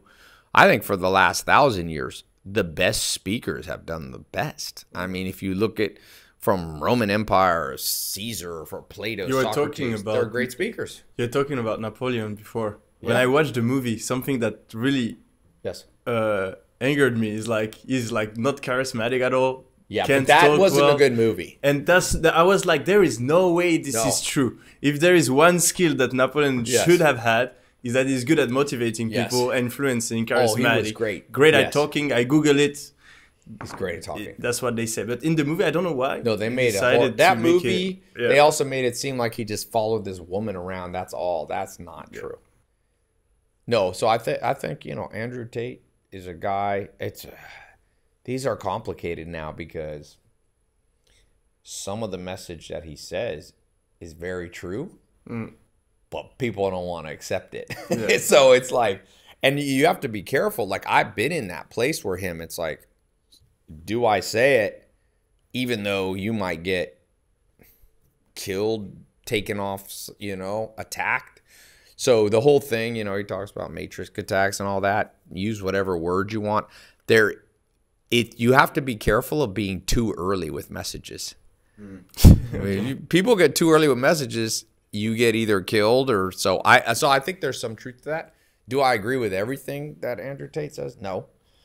There's no way. There's no possibility that one man can be 100% right when you talk about 20 subjects. Yeah, come on. Like you talk about 100 subjects, you think there's ever been a human that was accurate on In fact, in 100 years, everything we think is true, our grandkids will laugh at us. Hmm. Everything. Like the stuff we're so sure about right now, in 100 I mean, what do we think's true from 100 years ago? From the year, let's say 1920. They barely knew about they barely people barely knew about washing their hands 150 years ago. 150 years from now, people are going to look back and be like, "Oh, Tai thought that you know happiness was 60% genetic." They, I have a feel. My guess is they'll be like, "They didn't know it was 98% genetic." Yeah, you but talk- there's but there's a chance they say, "Oh, there's genes are fake," and it's you know. So that's why I said you have to have conviction in life to survive, but also remember most of our convictions will be a joke, even in 30 years. I think people will look at our iPhones, our podcasts. So when you ask me about Andrew Tate, it's like people are like, "Do you think this guy?" Nobody's a god. Nobody's right about everything. And, and I've always been a big fan of having at least like 15 mentors. It keeps you from getting too addicted to one person. Hmm. You know? So if you have, I divide, you know, to me, life is the good life health, wealth, love, happiness. So you have four main categories. So you need about four mentors in each one. So health, you should have like four people you listen to, not one. Hmm. Wealth, four people for sure. Wealth, wealth is the most complicated in many ways. Love, you need four mentors. Happiness, so you know Andrew Tate. For people who like that, me- he can be one of the fifteen. Hormozi can be one of your fifteen, but be very careful when you get like, oh, these are the two people I listen to. when, Bad odds. when you think in general, not social media Yeah. in general, like who do you think is like underrated, and who do you think Oh. is overrated You mean in the, but not social media just influencers? great people, you know, in life, author, entrepreneur, Well, oh, I told you, the celebrities. most underrated Sigmund Freud. For I would bet if I had to be a betting man, and I ask AI in ten years, Sigmund Freud, because people don't understand what he said. So I'd say he's underrated. I'd say Dr. David Buss is underrated. I would say, um, you know, when it comes to physical health, I, I told you this guy that wrote the book Story of the Human Body, his name's Daniel Lieberman. He's very under I nobody ever quotes that guy except me. But he studied he's an expert on our our skeletal system for the last 10,000 years. So he basically can tell you how many steps you should walk based on how our hips have changed over the last 10,000 generations. So it's like, oh, humans, like gorillas, they have their, I forget how it is, their hips are turned in. So that's why they walk funny. They're not built to walk. And you can tell by how our hips changed how much humans are meant to walk. So I think people like that. I think there's a mentor I have named Dr. Helen Fisher. She's super underrated on the subject of love and sex, which is a lot of what people are talking about now on social media. Nobody ever quotes Dr. Helen Fisher. Well, she might be the number one expert on love, and she's also the chief scientist for Tinder. So she has the most data of any scientist in human history. She can tell you the patterns. Okay. Because everybody talks about like, oh, 20% of the men get all the women, all the alpha. She can tell you. She, and I talked to her. She's one of my mentors. She has like some of the stuff she would agree with Andrew Tate. But some of the stuff she'd be like, "Mm, it's more like this. So here's what I feel like the world's become. This is the underrated thing of the world. The world's become very much like, okay, one group is like men and women are totally different. Men are alphas and women are submit or whatever. And then there's the other side, which is the extreme left, which is, you know, men and women are exactly the same. Everything's in societal. But if you talk to someone like Helen Fisher, she's like over there. She has like weird theories that are probably true. Like I'll give you an example. you know, she says we all think that divorce rate means the world's getting worse.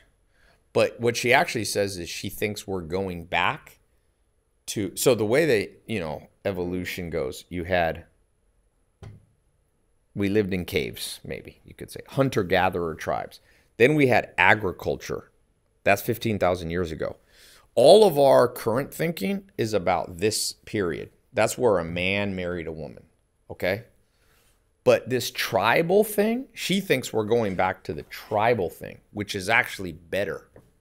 So, like Nelson Mandela, you know Nelson Mandela, he Yeah. won a Nobel Peace Prize. If you, I read his autobiography. When I was telling you, read the words of these people. He was married, and his mom, his dad had five wives, or four, I think five.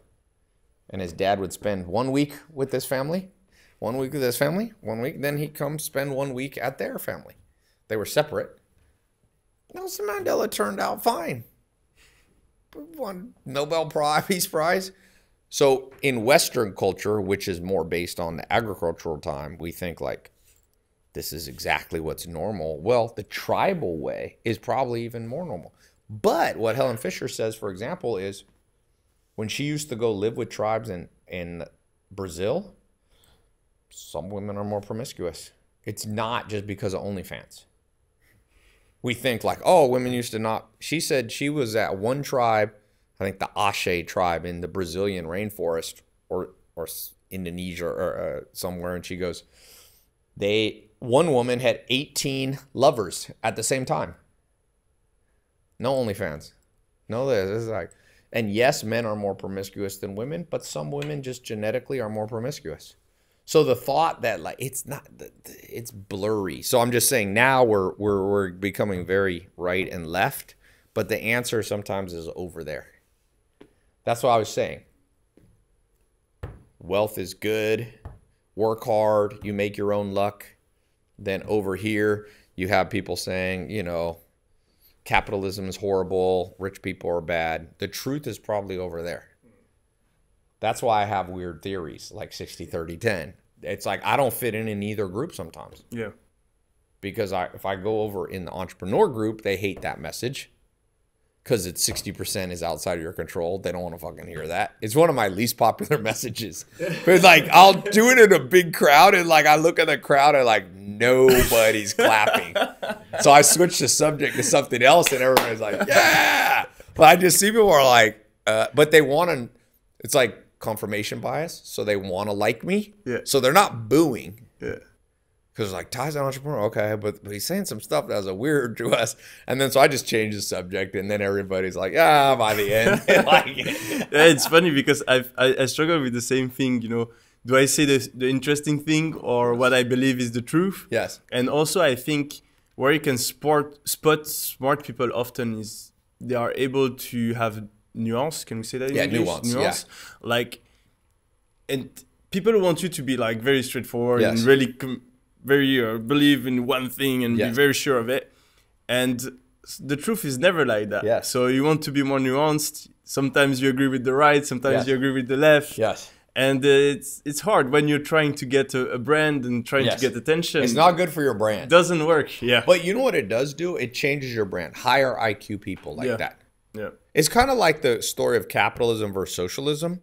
I just did a debate, communist, capitalist. I was one of the capitalists. But even on that group, I had to say, well, I do live part time in Sweden or, or Denmark, let's say, and they have a pretty good culture. Like you go to America or you go to Denmark, I mean, Denmark has a lot of good stuff and they have high taxes and they have more socialism and you're not supposed to show off like you can't have i came over here with like i said iman they picked me up in the uh, phantom. I was like oh you can't have this in copenhagen. All girls will think you're a douchebag. If you roll up in a phantom rolls royce in scandinavia girls will be like who's this weirdo? So is that better for a guy? Like now it's very much that if you're in the if you're on this side of the debate it's kind of like men should be men women should be women doing traditional roles. Feminism's bad, but I've been to some places where it's not so bad. It's a complicated conversation. Are you a competitive person? Yeah, but You like challenge? yeah, but not as much as most entrepreneurs. That's the one difference. I have a small challenge for you. Okay. Uh, so I've heard you tell in a previous podcast that you're very good at reading people. Okay. Most of the people that watch the podcast have watched, I don't know, between 10 and 40 episodes. Okay. So I think they know us Yes. pretty well. You've had uh, two hours Yes. to get to know us. How do you think we are if you had to guess our personality? Personality types. Which one? Myers Briggs. No, The letters. like if you're trying to describe my personality, how I act, how I am, and him. What do you think? Well, I would like I said, the biggest difference between you is you have anxiety and you don't. That is one I can tell. Um like I said, I guess that you have I'm like, you probably have a psychopath dad. There ain't no way you have two emotional parents. You have He will that be happy because he's watching also. Oh, he watching? Yeah. is he gonna be mad at me? No, I don't think so. Not psychopathic, just low emotion. Um well, I would say, like I said, that it'd be interesting to see. I don't think you're so you're French. French often score high Machiavellian. Yeah, but okay, but you speak French. French part, French culture. You have some if you speak the language different. But I don't think you're very Machiavellian. So probably higher on narcissism, lower on Machiavellian. Have you done your narcissism score? a long time ago, I don't know. I don't remember. Yeah, not not super high, but they put you didn't pull up. You never did my quiz. I did. Let me see the uh, one you took a yeah. long time ago. Yeah. Okay. But okay. Let's see. do you change a lot with these quizzes, or No. you say you stay mostly the same? No, that Like if I take it ten years from now, you shouldn't change much. Okay. unless you're tricking, trying to trick yourself.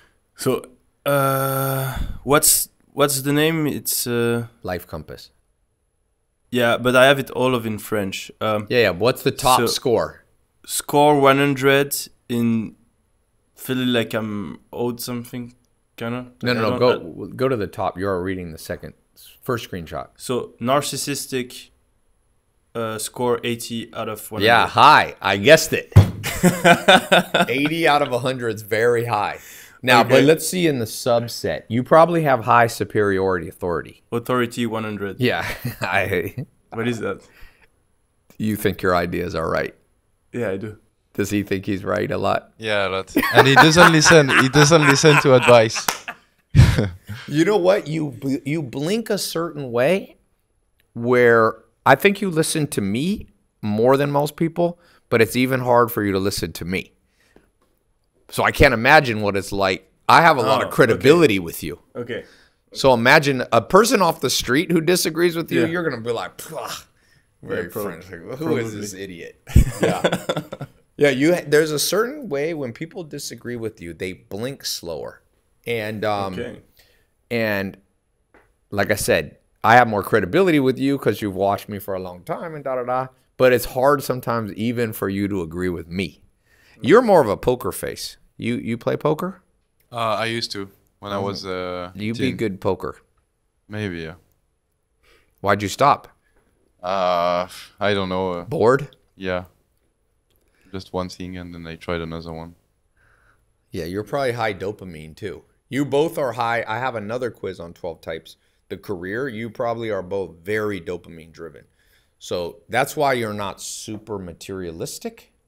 You're not driven by one thing. Like a super materialistic person is like, when I get this much money, and like you said, you weren't, when you made a million in one day, I wasn't that happy because you're not that much driven. You're more driven by the new experience. So that's interesting you said that. You probably would be good at poker, but you're so dopamine driven. You're like, okay, I started winning at this. Ah. Yeah. I like like focus. I like to try new things all the time. Who stays with one woman longer? Uh, I do. Yeah.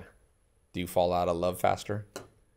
Uh, I don't know how fast you fall in love, but maybe yes. No, out of love. Uh, out of love. Yeah. Oh yeah, I get bored very Yeah. fast. I get bored High very, very fast. dopamine. You're like, okay. Yeah, yeah, yeah. You wake up sometimes and be like, why am I with this person? Yeah. Yeah. I can stay focused for a long period on the same thing. yeah, because you're more sentimental. But I mean, even in business. Yeah, you you might have so there's a the well the quiz gives you the four homo, hormones that are dominant for your career. You're probably higher in things like serotonin, which Yeah. is like structure. Because you said Yeah. you like to sit on your laptop and like draw out a diagram. That's serotonin, and you do software. Do you like the software side as much? Uh, not No. much. Yeah. I'm not really into it. Yeah. What do you like? What's your favorite part of business? Uh, I like sales.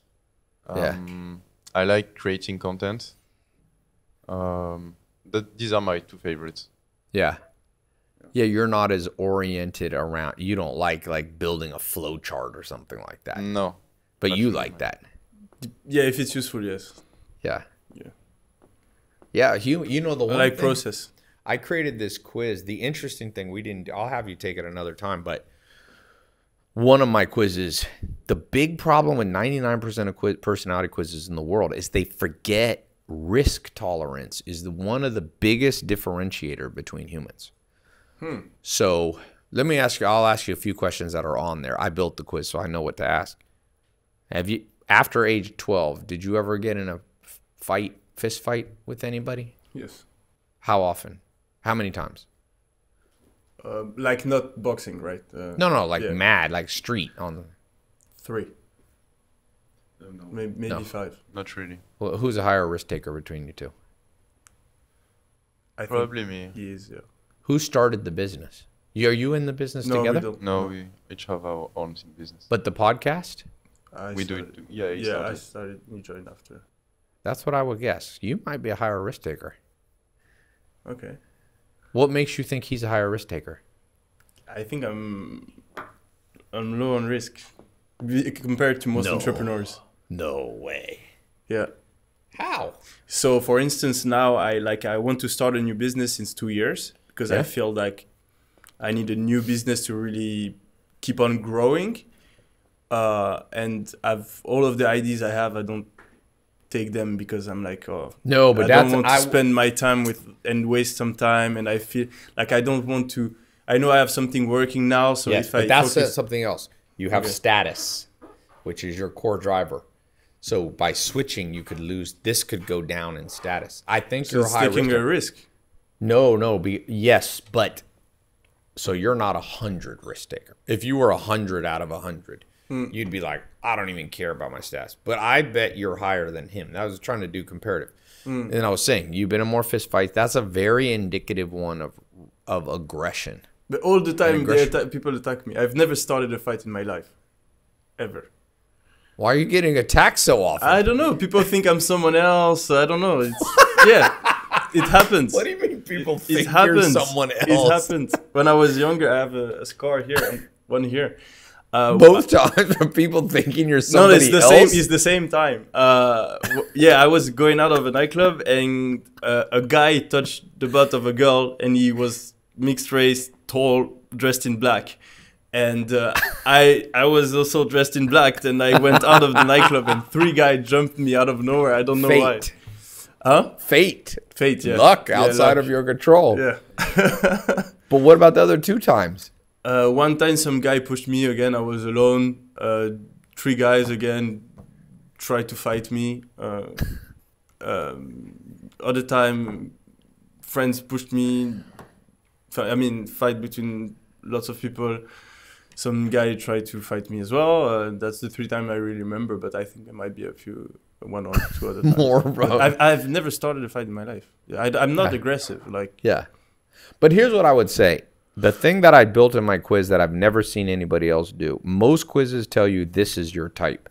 What I find with humans is that we actually have two forces usually in us that are opposite. So I was saying for you, you have a risk taking side. Mm. You started this podcast. You built a personal brand in France. That's a big. That's like hard. It's not just risk taking. You'll do it first. Does anyone else do it before not you at your my scale? scale. No, yeah. So okay. So you're a pioneer.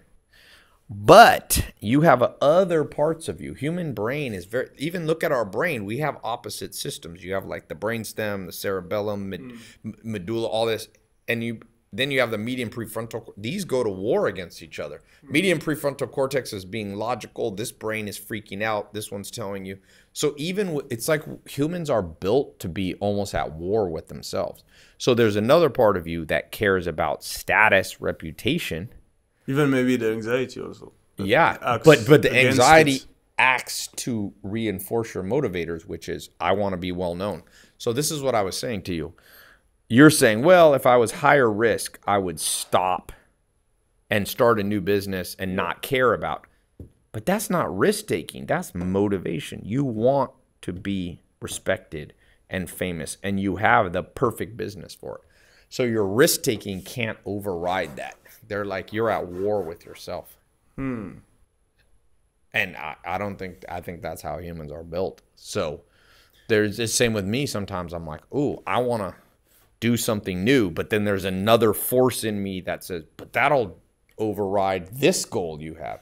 So humans have like, if you look at yours out of the four M's of motivation, you have two core freedom, movement to do what you want, but a little bit higher is status. So you want, there's a part of you that wants to be able to start this new business. But slightly more than that, you like having the respect of the current business.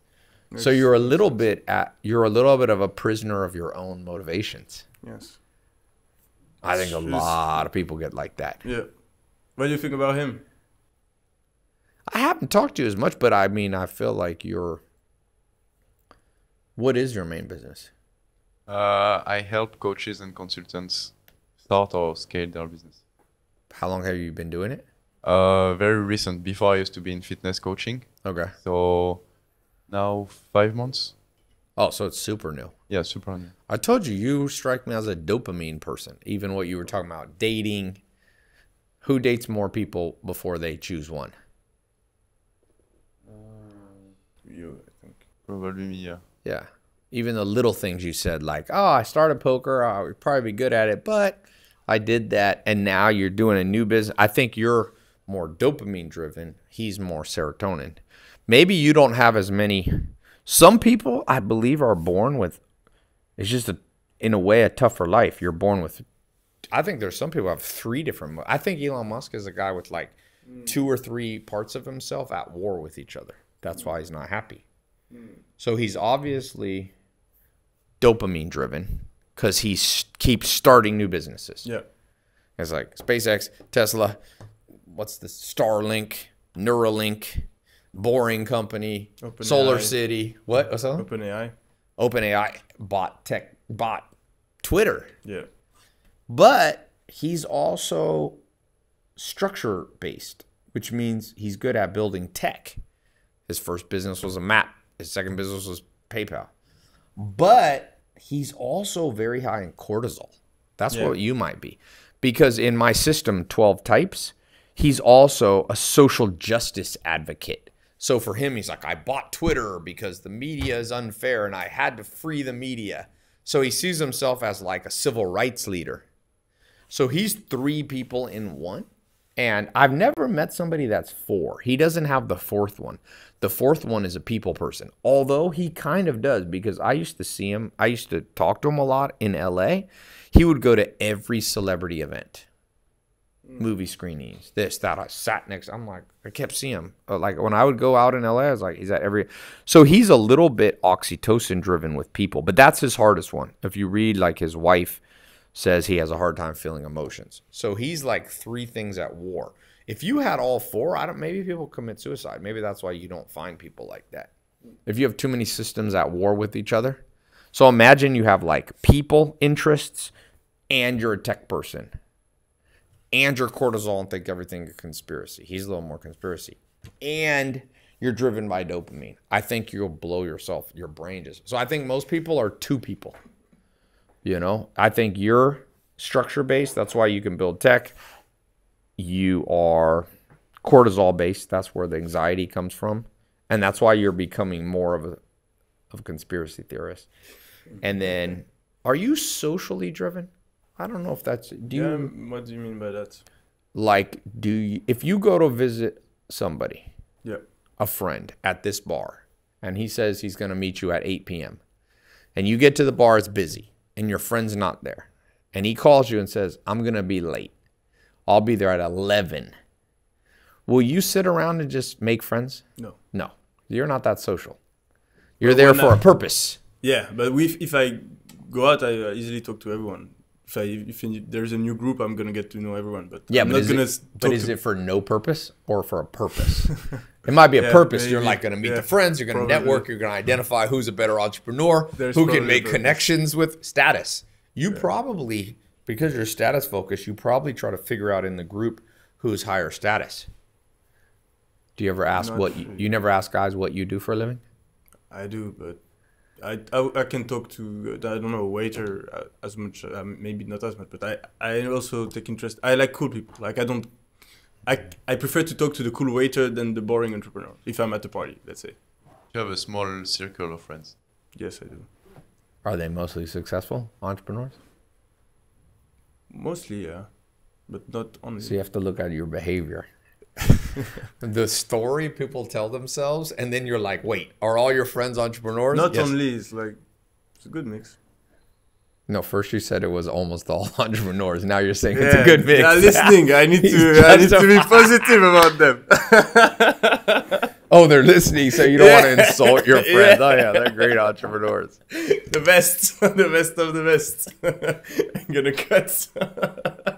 To lose some. Who and you? Are you social? Who's more social? I think he's more social than me. Yeah, Little, little bit more. Um, I'm not really social. but you like sales.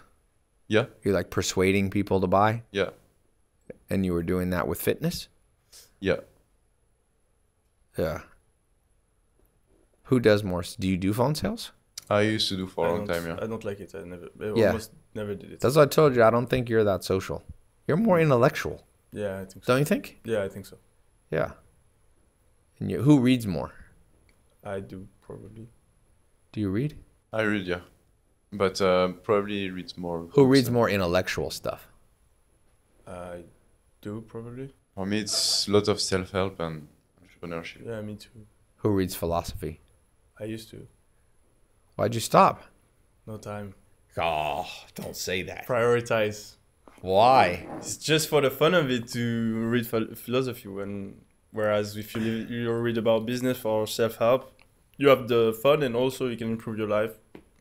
Try to optimize. Man, I don't know. I think you. I think smart. I think becoming smarter. I'll. I'll tell. I'll, I'll leave you with this. I think we're wrapping. Yeah. Are we wrapping up? I'll leave you with this. Um, the one thing that makes people advance in life is getting smarter, actually smarter. I don't care if it's philosophy, practicing math, blah blah blah. Now, some people would say, no, no, no, Tai. There's people who just get book smart and it doesn't help them in practical life. I don't find that to be very common. I find, yeah, how many times have you met somebody and they're a genius, actually smart, and they've gotten, they're getting smarter, but they're like completely never do anything in life? I don't find that to be true. When you get to the top, whether it's business, they're all reading philosophy books. They're all smart. The biggest thing that when I can tell, I can almost guess somebody's net worth by one conversation. Highest net worth people I know, people on Forbes list, they're ten times smarter than people. Maybe not ten times. They're twice as sharp, curious, intelligent than people making ten million dollars a year. It's very linear. I don't. I don't find that to be true at all. Do you think? Do you think Elon Musk is smart? Yes. Do you think Mark Zuckerberg is smart? Yes. I mean, do you think Jeff Bezos the the what's the one differentiator? And and there's a lot of science that IQ or at least working intelligence is the most correlated factor in wealth creation. And it, the the narrative has kind of gotten lo- you know lie like don't read Warren don't- Buffett said the opposite. I think you quoted him. Uh, to be a millionaire. Ah. He says you only Above need one- IQ 120 and 125. Yeah, Yeah, 125. To be a millionaire. Okay. But not to be a billionaire. Okay. not to be. You think Warren Buffett's a dude? Warren. I was at a conference. Warren Buffett was there, and you know he has eighteen thousand people come once a year. All the smartest investors come, and you can ask a question. And there was some Chinese economist came, and I could tell this Chinese guy had practiced this question. He was going to show he was smarter than Warren Buffett. Okay, he gets up there, goes to the microphone. 18,000 people listening. Warren Buffett's sitting here drinking Coca Cola because he owns Coke. And the guy goes, Sir, I was looking, you bought stock options in this one, and I did the math, and the strike price was here, and the, and the duration of the bonds. And he gave all these mathematical things. And he was like, I think you made a mistake. And Warren Buffett goes, He's like 95. He goes, You made a mistake in your math. And just like, da-da-da-da-da. and this dude who had prepared for months, Warren Buffett shoots him down mathematically in like six seconds. So, no, I think so. What I'm saying to people is do all the things. You can't totally increase your IQ, okay? But you can push it up. And that's the best return. Now, does that mean you should never focus on practical learning and never just run your business? No. But if you have if you're ambitious, the number one thing that's going to change your life is to be an actual learning machine, especially if you want to compete at the higher levels. There's a big difference in my experience between people making $10 million a year and people making 500 million. It's not like it, it, it's a thousand times different. They're almost like a different species of people. So I was like, when Mark Cuban came to my house, I remember Mark Cuban came to my house. Did you ever come to my house in Beverly Hills? No, never. I had a big house. Everybody's been to my house. Like half the people that are famous now have been to my house. And um, I remember Mark Cuban came to my house, and he was the sharpest dude that's ever. He know for for one thing, a sign of IQ is is observation skills. Okay. I remember him walking through my house to go out to the basketball court, and he's like, "Look at the hinges on the door." He's like, "Where'd you get these hinges?" I mean, ten thousand entrepreneurs had walked through those doors.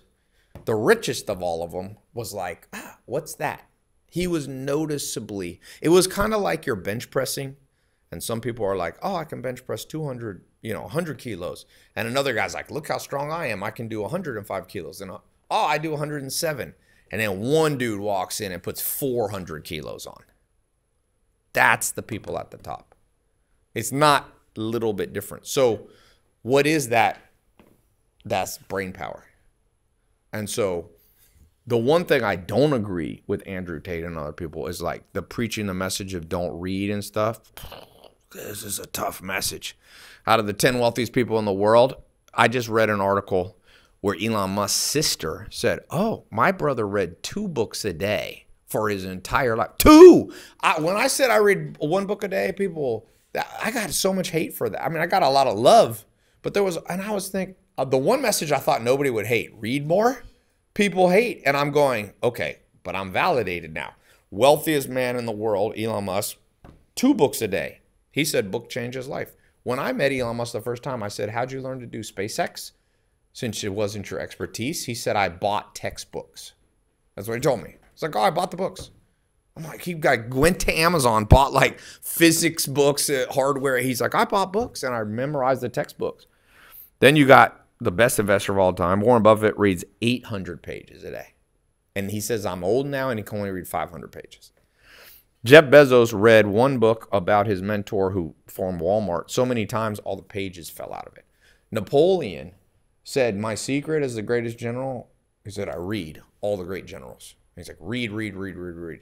If you, if you, Alexander the Great, he was mentored by Aristotle, which is pretty insane. Maybe the smartest person of those times. His dad hired him as a mentor from age 14 to 16.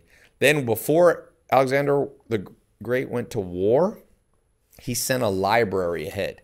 So he would always have his books with him. So I don't find any evidence that this is true. So my simple message to people is read more, become a learning machine. And don't only read business. If you want to become wealthy, read other books too, because they give if everybody if all entrepreneurs are reading the same business book, they're all going to come up with the same ideas. But if you're reading a little bit of philosophy, a little bit of history, you start coming up with brand new ideas that nobody can see. So, So guys, read. I think you have a book coming out, right? yeah, I have a a, link we can I have three trends. Promote? Threetrends.com. You can just go to tailopez.com. If you want to take the personality quiz, take 12types.com. And yeah, if you uh, just follow me on, I'll put together, maybe I'll put together for your audience a little uh, nice set of recommendations that I Yeah, don't have. nice. So yeah, just DM me on Instagram at Tai Lopez. What's the name of the pod? Well, I don't know if I want to do the podcast. I was gonna say DM me the name of the podcast, but but my team, who will help me, might not know. Damn, they'd be like, "What does this mean?" but just just DM me Yomi on Instagram, and I'll I'll set up an automated reply and send you a PDF. Y O M I. Thank you, Tai. It was a Thank pleasure. you. Great discussion. Thank you, man. Yeah, man. Thank you guys yeah. Let me shoot. We see each other in- in the next episode. Sans permission. Sans permission. Avec. Osama-san Sans permission. Tout blanc. Sans